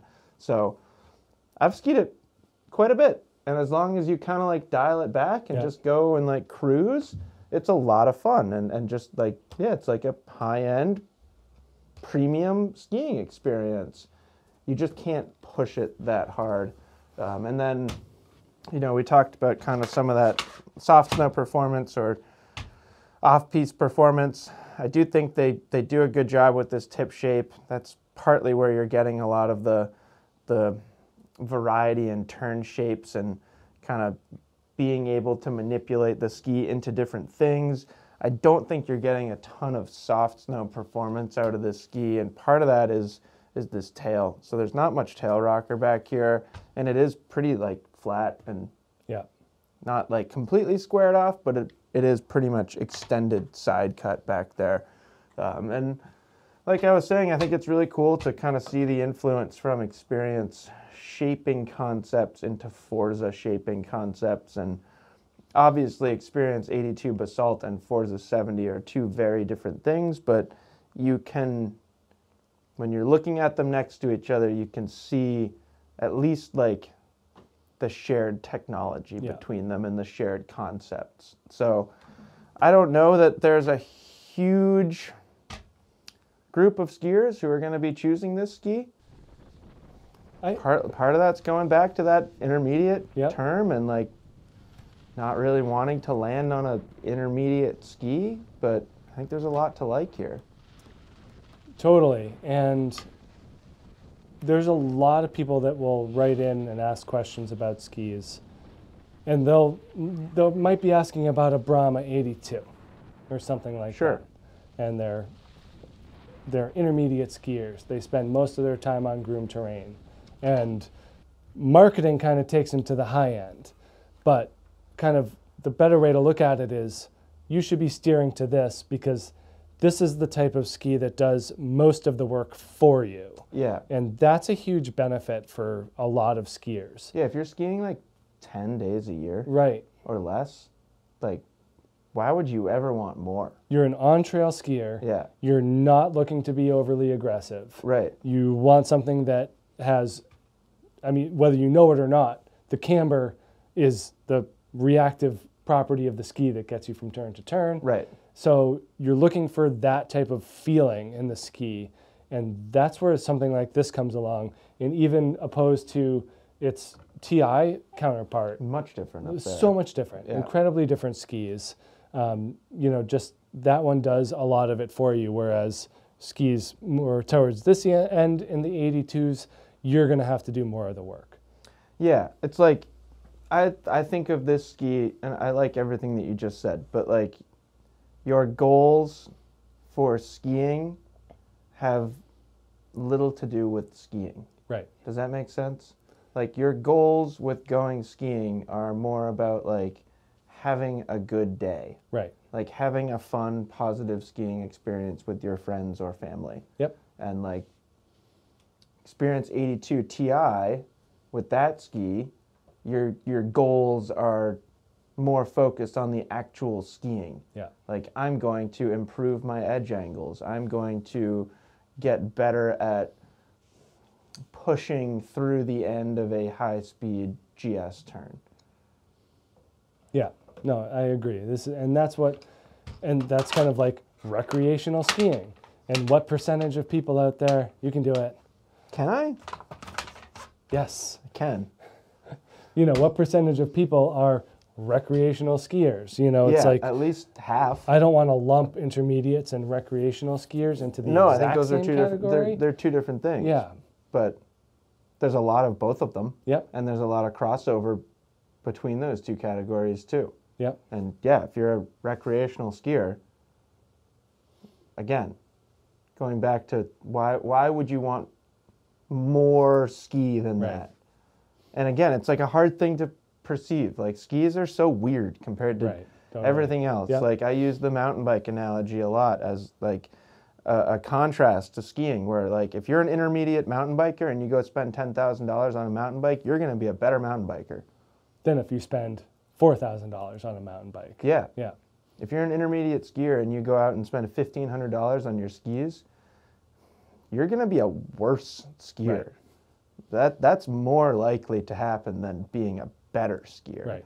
And like you know, we, you've you've mentioned this a couple times in this video. Like we are starting to see some manufacturers produce high-end intermediate skis, like that price tag Yeah. But in a ski that will benefit your skiing performance and your skiing experience. Um, but there's still there aren't many of them at all. No, and that's kind of like this this threesome right here. I think good is, is good representative of that. Yeah, Um, and I also like how these two skis have the exact same binding on them, which is great. well, who would have guessed that sister companies Yeah. that share the same binding would use the same binding? Uh, this is new model from Dynastar M Cross 82. We have skied the 88, done a full review on that. That also made it into our 90 millimeter comparison video. So same things apply to this ski, just in that narrower format. And I'd say like a bunch of hints were kind of taken from Forza in terms of our more pintailed shape with that wider shovel Yeah. and then kind of relatively narrower tail. It's like a forgiving Forza. Yeah, much more maneuverable, easy to kind of get from turn to turn. Certainly bringing some all mountain versatility into this ski. Uh, they're using their hybrid core. So I think the build is what brings uh, M Cross over from experience here uh, by using So that, too. Yeah, that polyurethane material. It's just smoother. Yeah, Um, and then the wood core we talked about with M Cross, where they're using like joinery with these horizontal metal or wood laminates. Excuse me, Do you know how heavy or how stiff this thing is? pretty stiff. Oh my gosh. Yeah, good stiffness, good energy out of this Yeah. ski. Um, basically using joined horizontal wood laminates as opposed to uh, sandwiched stringers. So different way of building, a little bit more eco-friendly because it uses less adhesive, uh, and then just having that that wood core held together by friction, you're actually seems like you're getting more energy out of it. I don't know. Uh, again, one of those things that uh, pointed to. I don't know if it works the way it's supposed to, but mixing the polyurethane, uh, three different wood applications in here, uh, and then this H-Tech underfoot. So getting this, you know, these arms out with that additional material here really helps keep the forebody and the tail firmly planted on the snow. But we are seeing a little bit more of that free ride influence come in with this uh, with this tip shape. So more taper, a little bit better in softer snow. This is where we start to see some versatility come in. You know, my, my grandmother used to wrap all of her Christmas presents without tape. Just by This is Friction? my uh, joinery, yep, uh, lack of epoxy analogy. Full, like fancy folding. yeah It's impressive. Yeah. I'm all tape. Not I a just wrap everything not like tape. a relevant or not a, a Yeah. useful analogy, but uh, uh, at least a fun memory for me. And, and when you were talking about joinery techniques and, and the resulting and or lack less epoxy, um, I think that's really interesting. And I, I actually like. I hope we see more and more of that in ski construction. It seems like it's starting to become a thing. I think so. Yeah, Yeah, just kind of thinking through different solutions to the same manufacturing challenges. yeah. Uh, 14 meter turn radius, so shorter, and that's kind of the point of M Cross. Is you're they're bringing this carving into the all mountain format, and we kind of talked about in in the other video with the 88 that this is or the 88 at least is more of a directional version of a Black Crows Mirus Cor. Yeah, So, really fun, playful carving ski, just more directional. So that's where my mind goes with this is kind of these more dramatic shapes and what effect do they create? They create this really just uh, you know fun-loving carved turn, and that's where this thing is is great. Excuse me. so I, um, not to cut you off, but I, I can't, I can't get over the, uh, the off-piste potential too of this shape.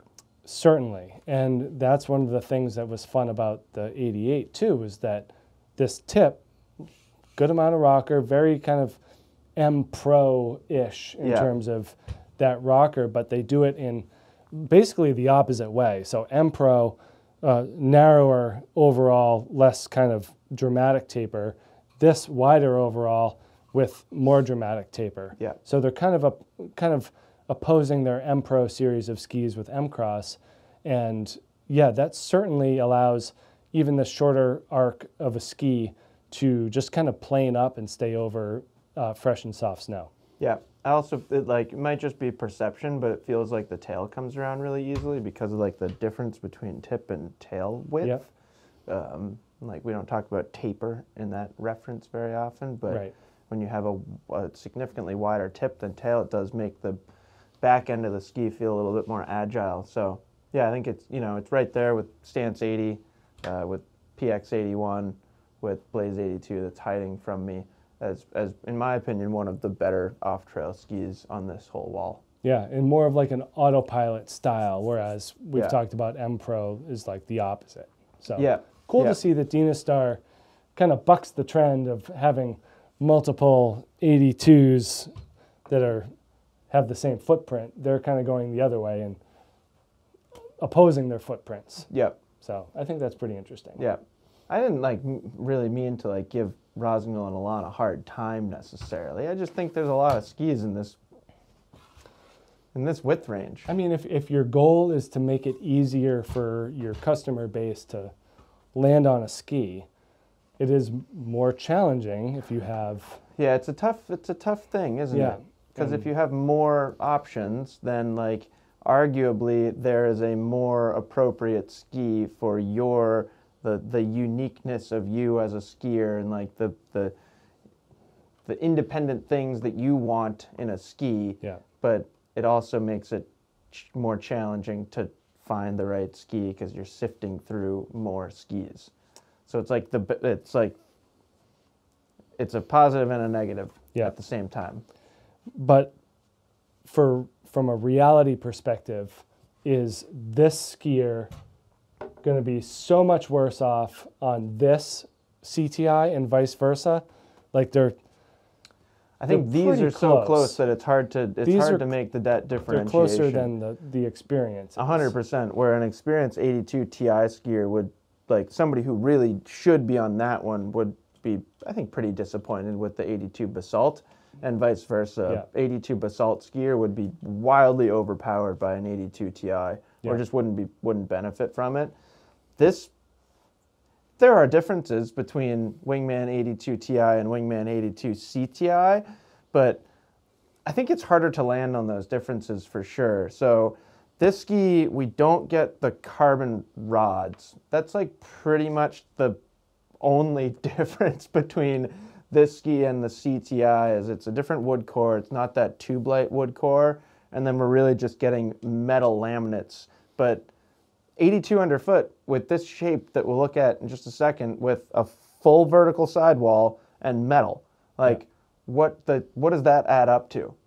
yeah I mean it's high performance and a wide bodied ski especially with this the sharpness of and low profile of the shape Exactly. So, like, I, th- I I just feel like the wingman line is, is tricky because they're all pretty high end skis. yeah Um, and if anything, like, it's hard to stand here and say that the CTI is better. It's more just what you want your ski to feel like. So, this ski without carbon focuses more on just vibration damping. So this Yep. this ski is like really glued to the snow surface, um, where when you move to CTI, and, and I guess when we get to CTI, we can just breeze right through it. Or I don't just want to weigh them sure, you weigh them right now. Yeah, I, I don't think it's going to be tremendously different. I don't think so either Um, so, yeah, Wingman 82 Ti, you're going to save a little bit of money over a CTI, and you don't get as much like reactivity or spring out of the carbon. this What, is 200 grams heavier Yeah. 100 that is in the binding. oh they are different apologies I bet a 100 of it is in the binding. yeah At least. So, anyways, you're saving a little, mon- little bit of money here. yeah and you're still getting a really high end ski. I think all of the wingman skis, um, they all lean more towards carving than all mountain, but they are less focused on carving uh, than just about anything over here. Maybe take out stance 80. So you are getting a little bit of all mountain versatility out of these skis. They just kind of make it rounder. Like a lot of elements to its shape are very Yeah. rounded, and that's where sure it takes away a little bit of precision, but I think you you gain some forgiveness and, and you gain some versatility for softer snow. Very RC1 esque tail shape there, Yep.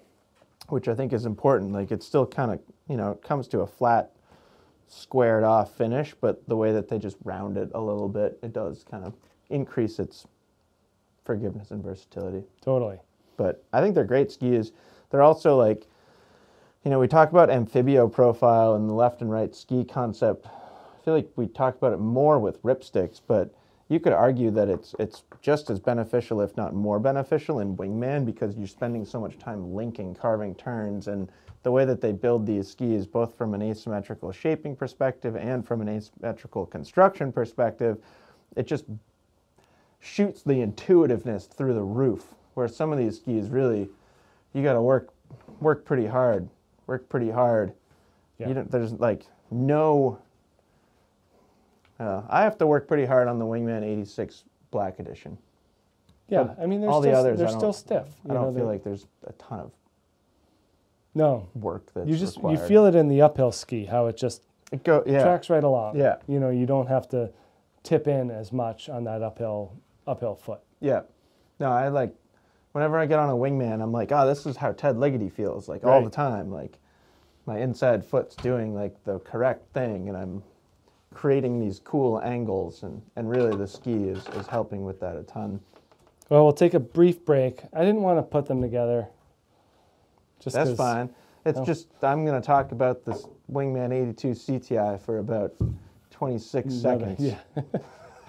we'll move on. Um, couldn't really think of a good ski to put in there, so chose this one. I think that fits nicely in between those two skis. If Even- we're going in a progression yeah. of like forgiving and approachable to stiff and, and demanding, then yeah. It I just does very different things. A a- very different ski. Would you agree that like if Wingman as a collection leans towards carving, declivity leans more all mountain? Yeah, and for the same reasons that Blaze does as well. Um, Declivity 82 Ti is the narrowest of that free ride division of skis. What Right. did we go up to? A 116? Declivity that- X, Yeah. I think it might be 115. But Okay. yeah, you're you're right there. But again, very big range of widths within Declivity series. Um, these are interesting. They use the lightweight Caruba wood core um, with that metal laminate. And so you're kind of combining opposing elements of light wood and then heavier metal, but still keeps this thing pretty light and reactive. And I don't know if anyone's ever gotten on a declivity of any width and had a bad time. I don't think it's possible. 1700 grams, you know, with the, the same kind of passion that we talk about, like Salomon being like a solid and smooth ski, uh, declivity has that same type of feel going on. So it's really, really rewarding and quiet um, with a ton of all mountain potential. So this certainly falls on the side of narrow all mountain ski versus wide front side carving ski. Yeah, even Wingman. You know, Yeah. even though there's not a big range in width there, I think just the collection is Yeah. wide wide carving ski, wide frontside ski. And that's a really important distinction to make when you're kind of in this process of selecting a ski in this width range because Yeah. This wall contains a lot of bridge skis that really blur that line between front side and all mountain. Yeah. And interestingly, like there's the wider wingmans, there's the wider Fischers, there's the wider experiences that are still kind of blurring that line between front side and all mountain. So like a wingman 86 even was more of a front side ski I than a declivity 82. I agree. So there's just some considerations to be made, and a lot of that has to do with just the shape of the ski. So flat, put your binding of choice on here. I'm continually impressed with how much camber is in these declivity skis. Like that's that's a lot of camber, Yeah. and when they're when they're decambered, it's not a ton of rocker. Camber's coming back. Yeah. And so again, you're getting that energy built in with the camber. Add a metal laminate to that, and you're getting nice dampness, nice power, great energy out of it. Little bit of tail rocker here, not a whole lot. Typical kind of bulge at the end of the declivity skis. We see that through 88C, 92 Ti, 102 Ti, where you're getting a nice kick out of the end of the turn here. Uh, 15.9 meters here in the 174 and right up there with the best of them in terms of moguls and off-trail performance. Yeah. Um, we had the 88C up here recently. That thing's a little stiffer than this, which is pretty impressive. Yeah, metal doesn't make a ski stiff. Yeah. So really does a nice job at keeping things smooth and quiet. Uh, and I would probably rather ski this in the moguls than anything else up here. So that's that's fun, because I wouldn't. Um, I think I'd rather ski like. I think I'd rather ski a Blaze 82 and this in the moguls. And maybe a Montero AX for different reasons. Yeah. But that just when you throw the metal in that ski, Um, I don't know that I would have as easy of a time on it in the moguls as you would. Yeah, it doesn't bother me a whole lot, especially when there's when it's this narrow. Right. Um, I think that really brings the ski to life. So, this is your narrow all mountain ski. This is someone I think that prioritizes general skiing over carving. Yeah. You still want the ski to carve, but you're more looking for something that's has a versatile nature. Yeah, I agree. Whereas when you're looking at either wingman, Yep. Your priority is carving first, Yep. and if you can eke out some off-trail capabilities, so much the better. But this one certainly more focused on off-trail or all mountain performance. You know, there is more off-trail capabilities than a lot of other skis on this wall, but that doesn't mean that it's better than 88C or any other declivity series skis out there, but or Blaze 82 for that fact. Yep. Uh, but definitely more of that all mountain style. But so much fun. Again, no one skis a declivity and doesn't like it. I, I, I can't, certainly can't remember it ever happening. Same is true on the Reliance side. It just seems like Yeah. they, they have extremely broad appeal. And like, and I've, I've seen such a huge range in ability levels ski the Declivity 82 Ti, Yeah. and everyone seems to enjoy it. All right, 26 seconds. You're on the clock. I know, I regret saying that, um, mostly because I was thinking about the timestamps of the video and Oh. how, sh- how short the Yeah. Wingman 82 CTI section would look. And then I thought about like somebody like Ben Fresco being like, Only 26 seconds? the hell, man? Like, thought you liked their ski, and I would be like, I do like your skis. I'm so sorry it didn't work. Anyways, so I'm gonna spend a little bit longer than 26 seconds, but we kind of already covered it with the uh, Wingman 82 Ti. This CTI version, we get the Tubelite wood core and we get carbon rods. That's really the, the big thing here. Um, with those carbon rods, typically when we're talking about them, we're talking about how good they are with vibration damping because in ripsticks, like the skis are light and soft flexing, but they still have good vibration damping. So we kind of talk about it as like a light alternative to metal for vibration damping. When you're in the wingman skis, I've always found that the feel, sure, they're doing the same thing, but the perceived feel is different because it's going up against the TI versions. So when you ski a Wingman TI back to back with a Wingman CTI, instead of increased vibration damping in these skis, I feel vi- or increased energy. Right. So that carbon just acts as more of like a spring, and you know I think you can feel it in the flex pattern. Yep. Like it is more of a, a springy, responsive flex pattern out of this ski rather than more of the damp kind of like that Wingman 82 Ti. It's not soft, but it feels like you can just keep pushing and pushing and pushing without the ski springing back as much. Yeah, it just doesn't have it. Yeah. So mostly a skiing style thing.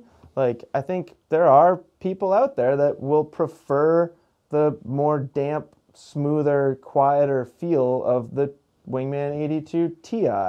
And then I definitely think there are skiers that would prefer just the responsiveness and kind of like eagerness to exit a turn that this ski has. Um, I, for one, prefer the CTI skis over the TI skis. I think like having a little bit of extra energy in the ski helps me being a lighter skier. Like I think the ski just responds to the input that I can provide it a little bit better. Um, 82 CTI and 86 CTI, I actually find it hard hard to differentiate between those, Those, two yeah. because they're so close in width and just construction and overall feel that it's like I would have a hard time choosing between the two, which is kind of going back to what I said before experience. Like, I just think maybe they've got like one, one too many skis in the experience and wingman collection, but It's a I different also, like- discussion. It's I also fine. don't necessarily want people to make fewer skis. Like, Right. I really like skis and I like talking about them. Yep. So it's kind of fun having five wingman skis all within four millimeters of each other. Um, but yeah, I mean, you kind of hit the nail on the head talking about this being a wider carving ski, less of a narrow all mountain ski, more of a wider carving ski, but not quite as focused as, say, Spitfire as, as being a wide carving ski. There is a, a touch of versatility to it.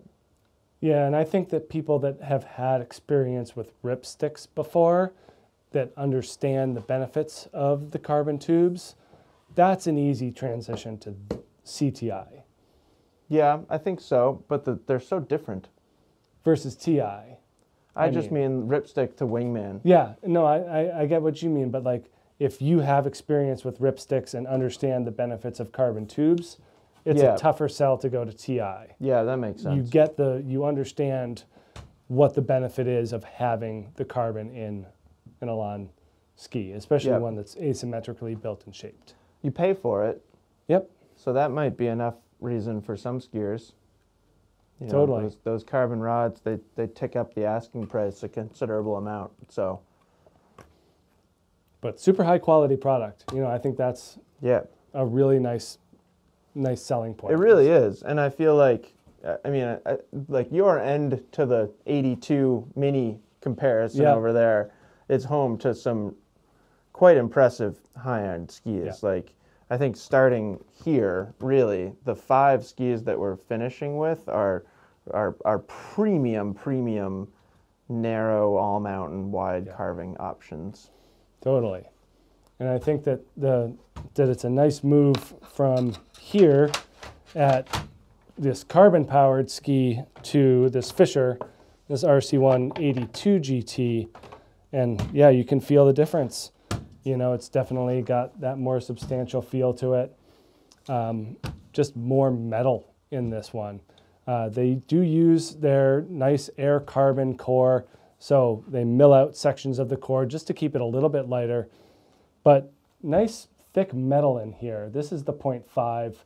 Once Yeah. we get to the 86, it moves up to the 0.7 or 0.8, I think. 0.7, Um, but 0.5 is still pretty thick. pretty thick. So you definitely feel it in terms of it being one of those planted skis. So you can see it. Yeah, it's pretty impressive. It's a big piece of metal in there. Yep. Um, as such, this ski prefers to be rolled edge to edge. You know, it's not like it's the most dynamic and responsive ski out there, but each and every ounce of your energy that you put into it is just directed to the snow. So it's very, very kind of concise in that regard. Uh, the concession for the thickness of the metal are these turn zone areas. So they're stopping the metal here and running it through the spine. But these zones in the tips and tails do not have that metal, and that's just giving it a little bit more approachability. So it's not a huge concession, but It's a You- necessary one. yeah, if you picture the opposite way, of this full thick metal throughout, you're then you're dealing with a much wider race ski than you might have anticipated. Yeah, and I've always found that um, RC ones they do have some versatility to them, but that versatility is only unlocked by like a, a true advanced expert skier. Yeah. Like the first time that I saw somebody doing cool dynamic things on an RC1 was Mike Hattrup on the RC1 86 GT. Right. And it's like, well, that makes sense Right. because he did those things on 2010 straight skis. Yeah. So two, 210. 210. Two, 210, Yeah. not 2010. Um, protector binding on this one too. Again, a standard option. I, I kind of think it's like if you're presented with the options of having the safer version that works better and the unsafer. I don't, Yeah, I I don't don't know if that, unsafer but- is fair. Uh, reduced risk of knee injuries. Okay. Bob. But that combined with what we found to be a noticeable kind of drop in stability, Yeah, then this thing's kind of a no-brainer. it is almost a $200 difference Yeah. from protector to PRD. So I could understand price being the a determining factor there for somebody, but yeah, I do think as we've found in, in kind of our back-to-back rally testing that there is a benefit to having that protector, and I think that benefit comes through on skis like this. Yep. Um, here's your turn zone lining up with the rocker, which is not unsubstantial. You know, you're getting that little bit of versatility built in. Yeah. You know, so where that turn zone starts is where that rocker starts, and pretty similar in the tail. Little brought, little little bit different, but Yeah. pretty flat, squared off tail with that metal insert back there. Just really, you know, zeroing in on the finish of the turn, getting you into the next one. The 166 15 meter radius pretty much lines up well with everything else we have here. Yep, a lot of turn radii in that range on this wall. Here's your outlier though. That is my 18.5. Yeah, this is your straight shooter. Yeah, so this is the uh, the Disruption 82 Ti, and like, it still feels new-ish to me, but really these have been around for a while now. yeah, Remember the neon yellow one that you raced on? They were very, very bright. They were very bright. It's still burned into my retinas. the neon yellow. Yeah, I might actually throw some neon yellow footage into into this video. Um, but yeah, this is one of the kind of higher end K2 disruption skis. And do you think it's fair to say that they haven't been as well adopted by the carving enthusiast as K2 would have liked? this is the this is the scariest ski I've been on on this wall. It is In a good way. so fast. Yeah. So I was gonna say the point that I was going to make Okay. is is you're you're you you gave me a nice transition. Uh, I don't think they've been as they've been as well adopted by high-end carving skiers as K2 would have liked, but I don't think that is reflected in their performance. It's a different thing. It's not like Nordica that's using a race thing to base its ski off. Yep. This is a ground up Yep. build. And I think they did a really good job with them. Mhm. Like I, I, I genuinely think that the design and engineering and build of this ski is really impressive. And when you put a high-end skier on them, the things that those high-end skiers can do are very, very impressive. And it'll check all their boxes for like demands and, and requirements out of their out of their equipment. But it's so hard to convince that skier to ski a K2 over a Volkl or a Nordica or Yeah. a Head or a Fischer. So I just think that that's kind of sad, you know, when a when a company makes a really good product and you just doesn't seem like they've had a ton of success with it. Yeah. And, you know, speaking to my experience, it just like my skills are not where, the, and I think I skied it in the 185 maybe, 184, I think 184. whatever the longest length is. I can tell you. And that was too long. 184, Yeah. too long. And Yeah. what's the turn radius in the 184? Does I don't think say it, that I don't think it says, but it's got to be close to 20. Yeah. So here it is. Uh, I always forget. Aspen veneer wood core in this ski, and then Titanal I beam. So we've kind of talked about Titanal I beam at this point a lot. Uh, it's full width underfoot, and then kind of just through the center of the ski. They get that dark matter damping, which is pretty similar to RevoShock. You know, similar concept. A, a little piece of carbon floating around and some rubber or something like that. Elastomer, I feel like is the nice vague term for that for, stuff. for rubber. yeah, elastomer, elastomer. an elastomer compound. Yeah. yeah, that does sound fancier than rubber. Um, but anyways, it's it's a real ski, and then they get this kind of double sidewall feature underfoot too, um, and it, They're stiff. it's pretty darn It's a stiff. pretty rugged ski. yeah. And so at I this mean, width, like with this much like totally, stuff. it's like a wide giant slalom Yeah. ski. Like the turn radius is closer to a giant slalom ski than a lot of things that we've looked at on this wall. Um, and the shape is like, I don't remember what they said, like describing rocker, like four millimeters of rocker, I think in the 82. There's not much. Not You know, it's kind of, Yeah. it's another one of those things where if you decamber it, you see the length, but there's not much splay there and there's no early taper really. So you get a long, effective edge and a, and a pretty stiff, pretty heavy ski. It's like, it's considerably heavy. Um, and then same thing in the tail. You know, there is tail rocker back here, but like not much, and it's completely squared off. So Yeah. they ski long, they ski stiff, and they ski pretty heavy, which for some skiers, none of those things are a good thing. But for those advanced, expert, powerful, strong skiers, this is awesome. Totally. If you're looking for unflinching performance, and I'm just thinking now that it could have easily just have gone right to the end of the wall past Brahma 82. I'm glad you were the one that said that, not me, because Yeah. you made the, you put the wall together. Well, sometimes you just think about these things more, and then these ideas come up, and that's what is fun about these discussions. Is you get to relive, like a scary couple runs on nosedive on these things. Yep. and I never had that experience on the Brahma.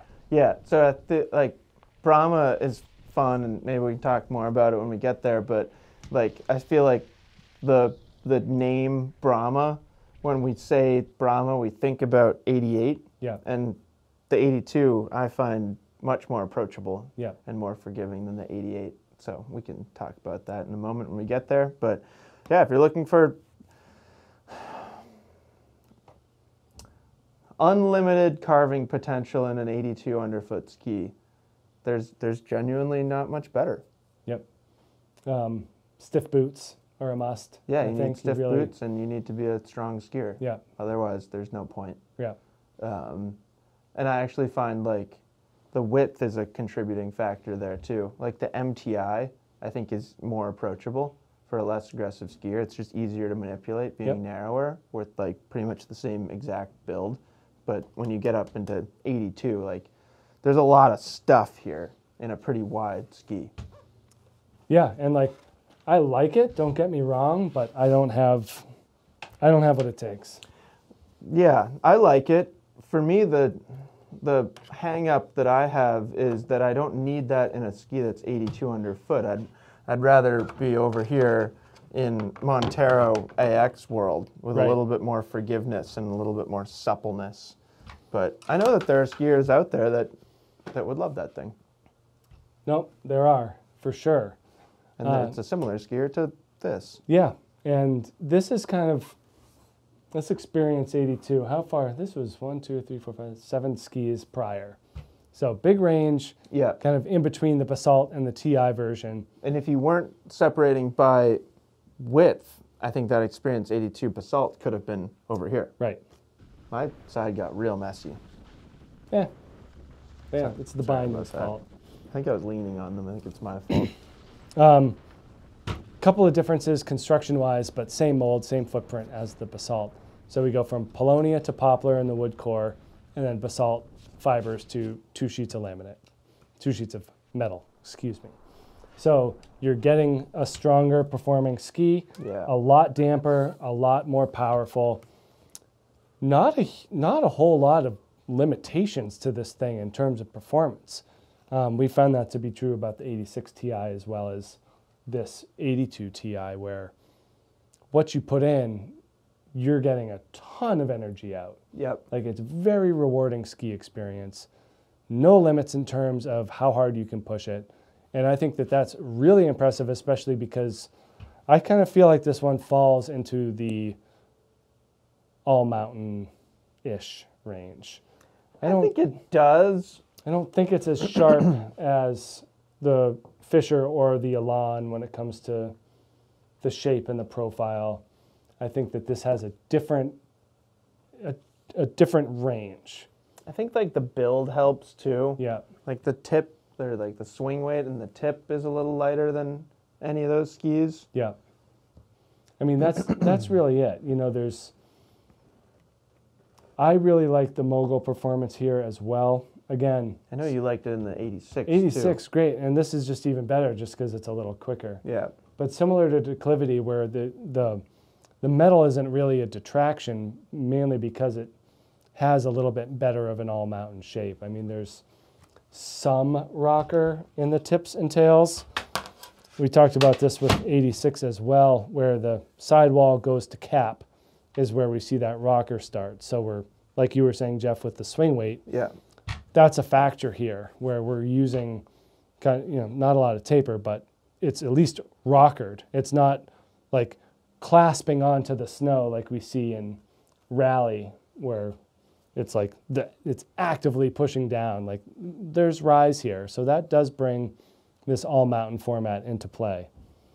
And then same thing in the tail where sidewall ends slight rocker begins and very similar tail shape to declivity where a little bit of a kick out at the end but overall you know pretty pretty well-rounded ski Yeah. Um, but just a different animal than basalt really Excuse is. They're quite different. Yeah. So you're just looking at that higher performance ceiling, that higher capability. It's a speed thing again too. Yeah, you get it going. Yeah, like if you're if you ski fast, get the 82 Ti. If you don't ski fast, get the 82 Basalt. Yeah. It's like pretty clean, easy way to think about it. Yeah. Um, upgrade in the binding on this Connect system here. So slight difference in the binding, but overall very similar. Again, like you said, speed is the big factor.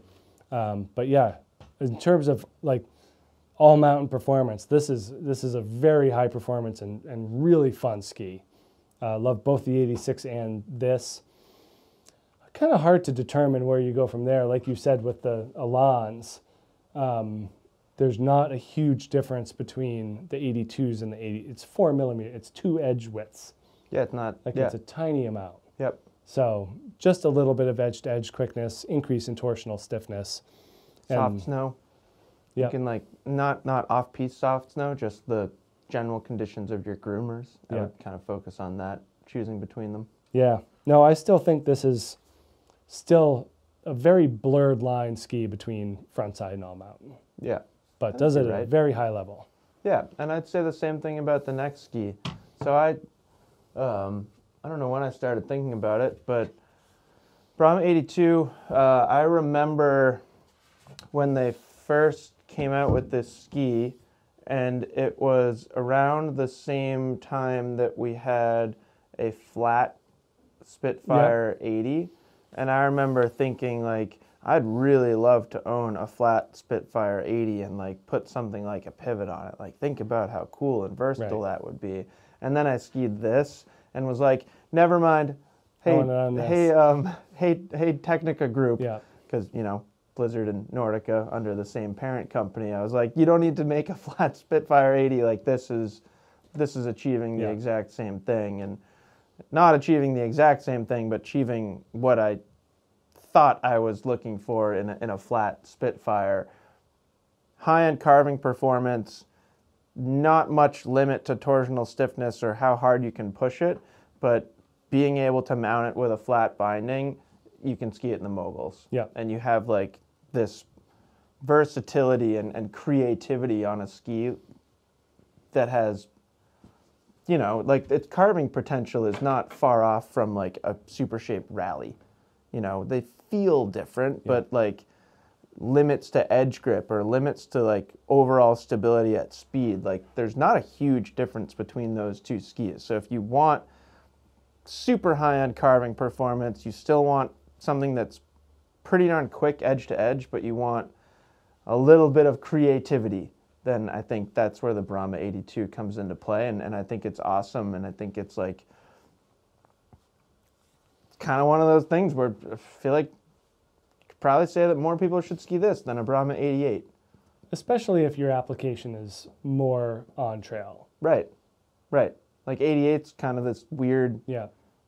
weird zone for a groomer ski where it's not like nearly as quick edge to edge as something like this. So it's like if carving, if groomers is your focus, then why not Right. why not go here and you know like Brahma 82 and Rustler 9 pretty sweet little two ski quiver there and you're kind of like wrapping right around a Brahma 88 for Right. widths so I just think the Brahma 82 is really cool and kind of like what we were saying um, I find it easier to ski than the 88 it's not like you know it's it's still stiff ski still that true blend wood core two sheets of metal two and two and a I don't know if I, I can confidently say two and a half Yeah. in this ski, so maybe not quite as much metal as a Brahma 88, but still a good amount of metal in this ski. Um, so there's plenty of ski here. You mentioned moguls, and like the way I think about this ski and bumps is I don't get to ski it the way that I want to ski it in the moguls, but I can ski it how It wants. it to be to be skied or how it should be skied. You know, there's definitely not a whole lot of zipper line potential as there is in declivity or blaze or uh, stance. Just not as much quickness. It's just it's tough, Yeah. tough to wrangle. Yep. You know, like anyone that's skied at Brahma before knows that it gets better the faster it goes, and that's true for 82 and 88. And in the moguls, that's not a very safe mindset. Yeah, that's fair. So this works.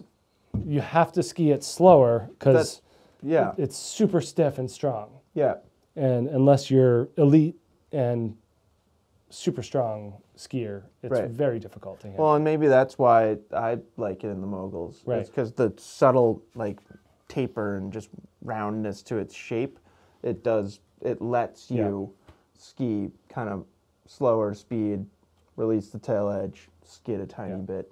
it's methodical. Like you have Yeah. to ski it methodically in the bumps. Yeah, yeah. It's exactly. not. It doesn't have just endless all mountain and free ride potential. Like this, I would much rather ski this in the bumps and trees any day of the week than a than Brahma this 82. 82. Trees especially. Yeah, Yeah, yeah. This is one of those ones that is gonna pretty darn planted. gonna hold on. Yeah, yeah. I don't think I'd want to ski this in the trees at all. Yeah. But a nice like well set mogul line. But steep groomers that are firm, that we see a lot of here, whether you're talking about lift Great. line, nosedive, hayride, like coming over the waterfall pitch on something like this, Yeah, total confidence. Yep. And and it doesn't it's not going to take you out like a K2. Like No, this you can at least manipulate. the shape and being a flat ski, just lower center of gravity I'm moving this it- over. gives you a little bit more kind of suppleness to its performance. yeah. You're making that decision. I'm making this decision. Okay. You heard it here first. a Brahma 82 is easier to ski than uh, Disruption, Disruption 82 82 Ti. Ti. That's it. I could argue with you with the Experience 82 though. You want to move this over here? Yeah, Okay. yeah. I'm not. I don't have a problem with that. I think this experience and the Fischer, those line up really well together. Yeah, they're friends. Yeah. So, anyways, that was fun. Yeah. Bob, any profound thoughts? I feel like this has been really long. Do you have anything that you want to close with? Not really. Just that I think that there's a lot of interesting discussions to be had in this line, and we've talked about it a few times to mix blending wide front side and narrow all mountain, and Yeah. making that decision I think is super helpful in Yeah, kind of winnowing away half to three quarters of skis on this wall. a lot of subtle nuances up here, Yeah. Which is fun to talk through. and- Totally. And, probably doesn't doesn't come through on paper. Yeah. So a fun a fun discussion to have. Um, we will do another front side comparison. So in the next one, we'll be going 74 and narrower. Um, so keep an eye out for that. Uh, as usual, if there's anything that you have questions about up here or any skis that are that could be included in this category that we didn't fit onto this wall, um, just let us know and, and happy to, to chat more about it. Totally. So, yeah, a couple more 2024 ski comparisons to come. Keep your eyes peeled, and we'll see you out there on the slopes because we're skiing in two days. A couple days. Yeah. Yeah. Bye.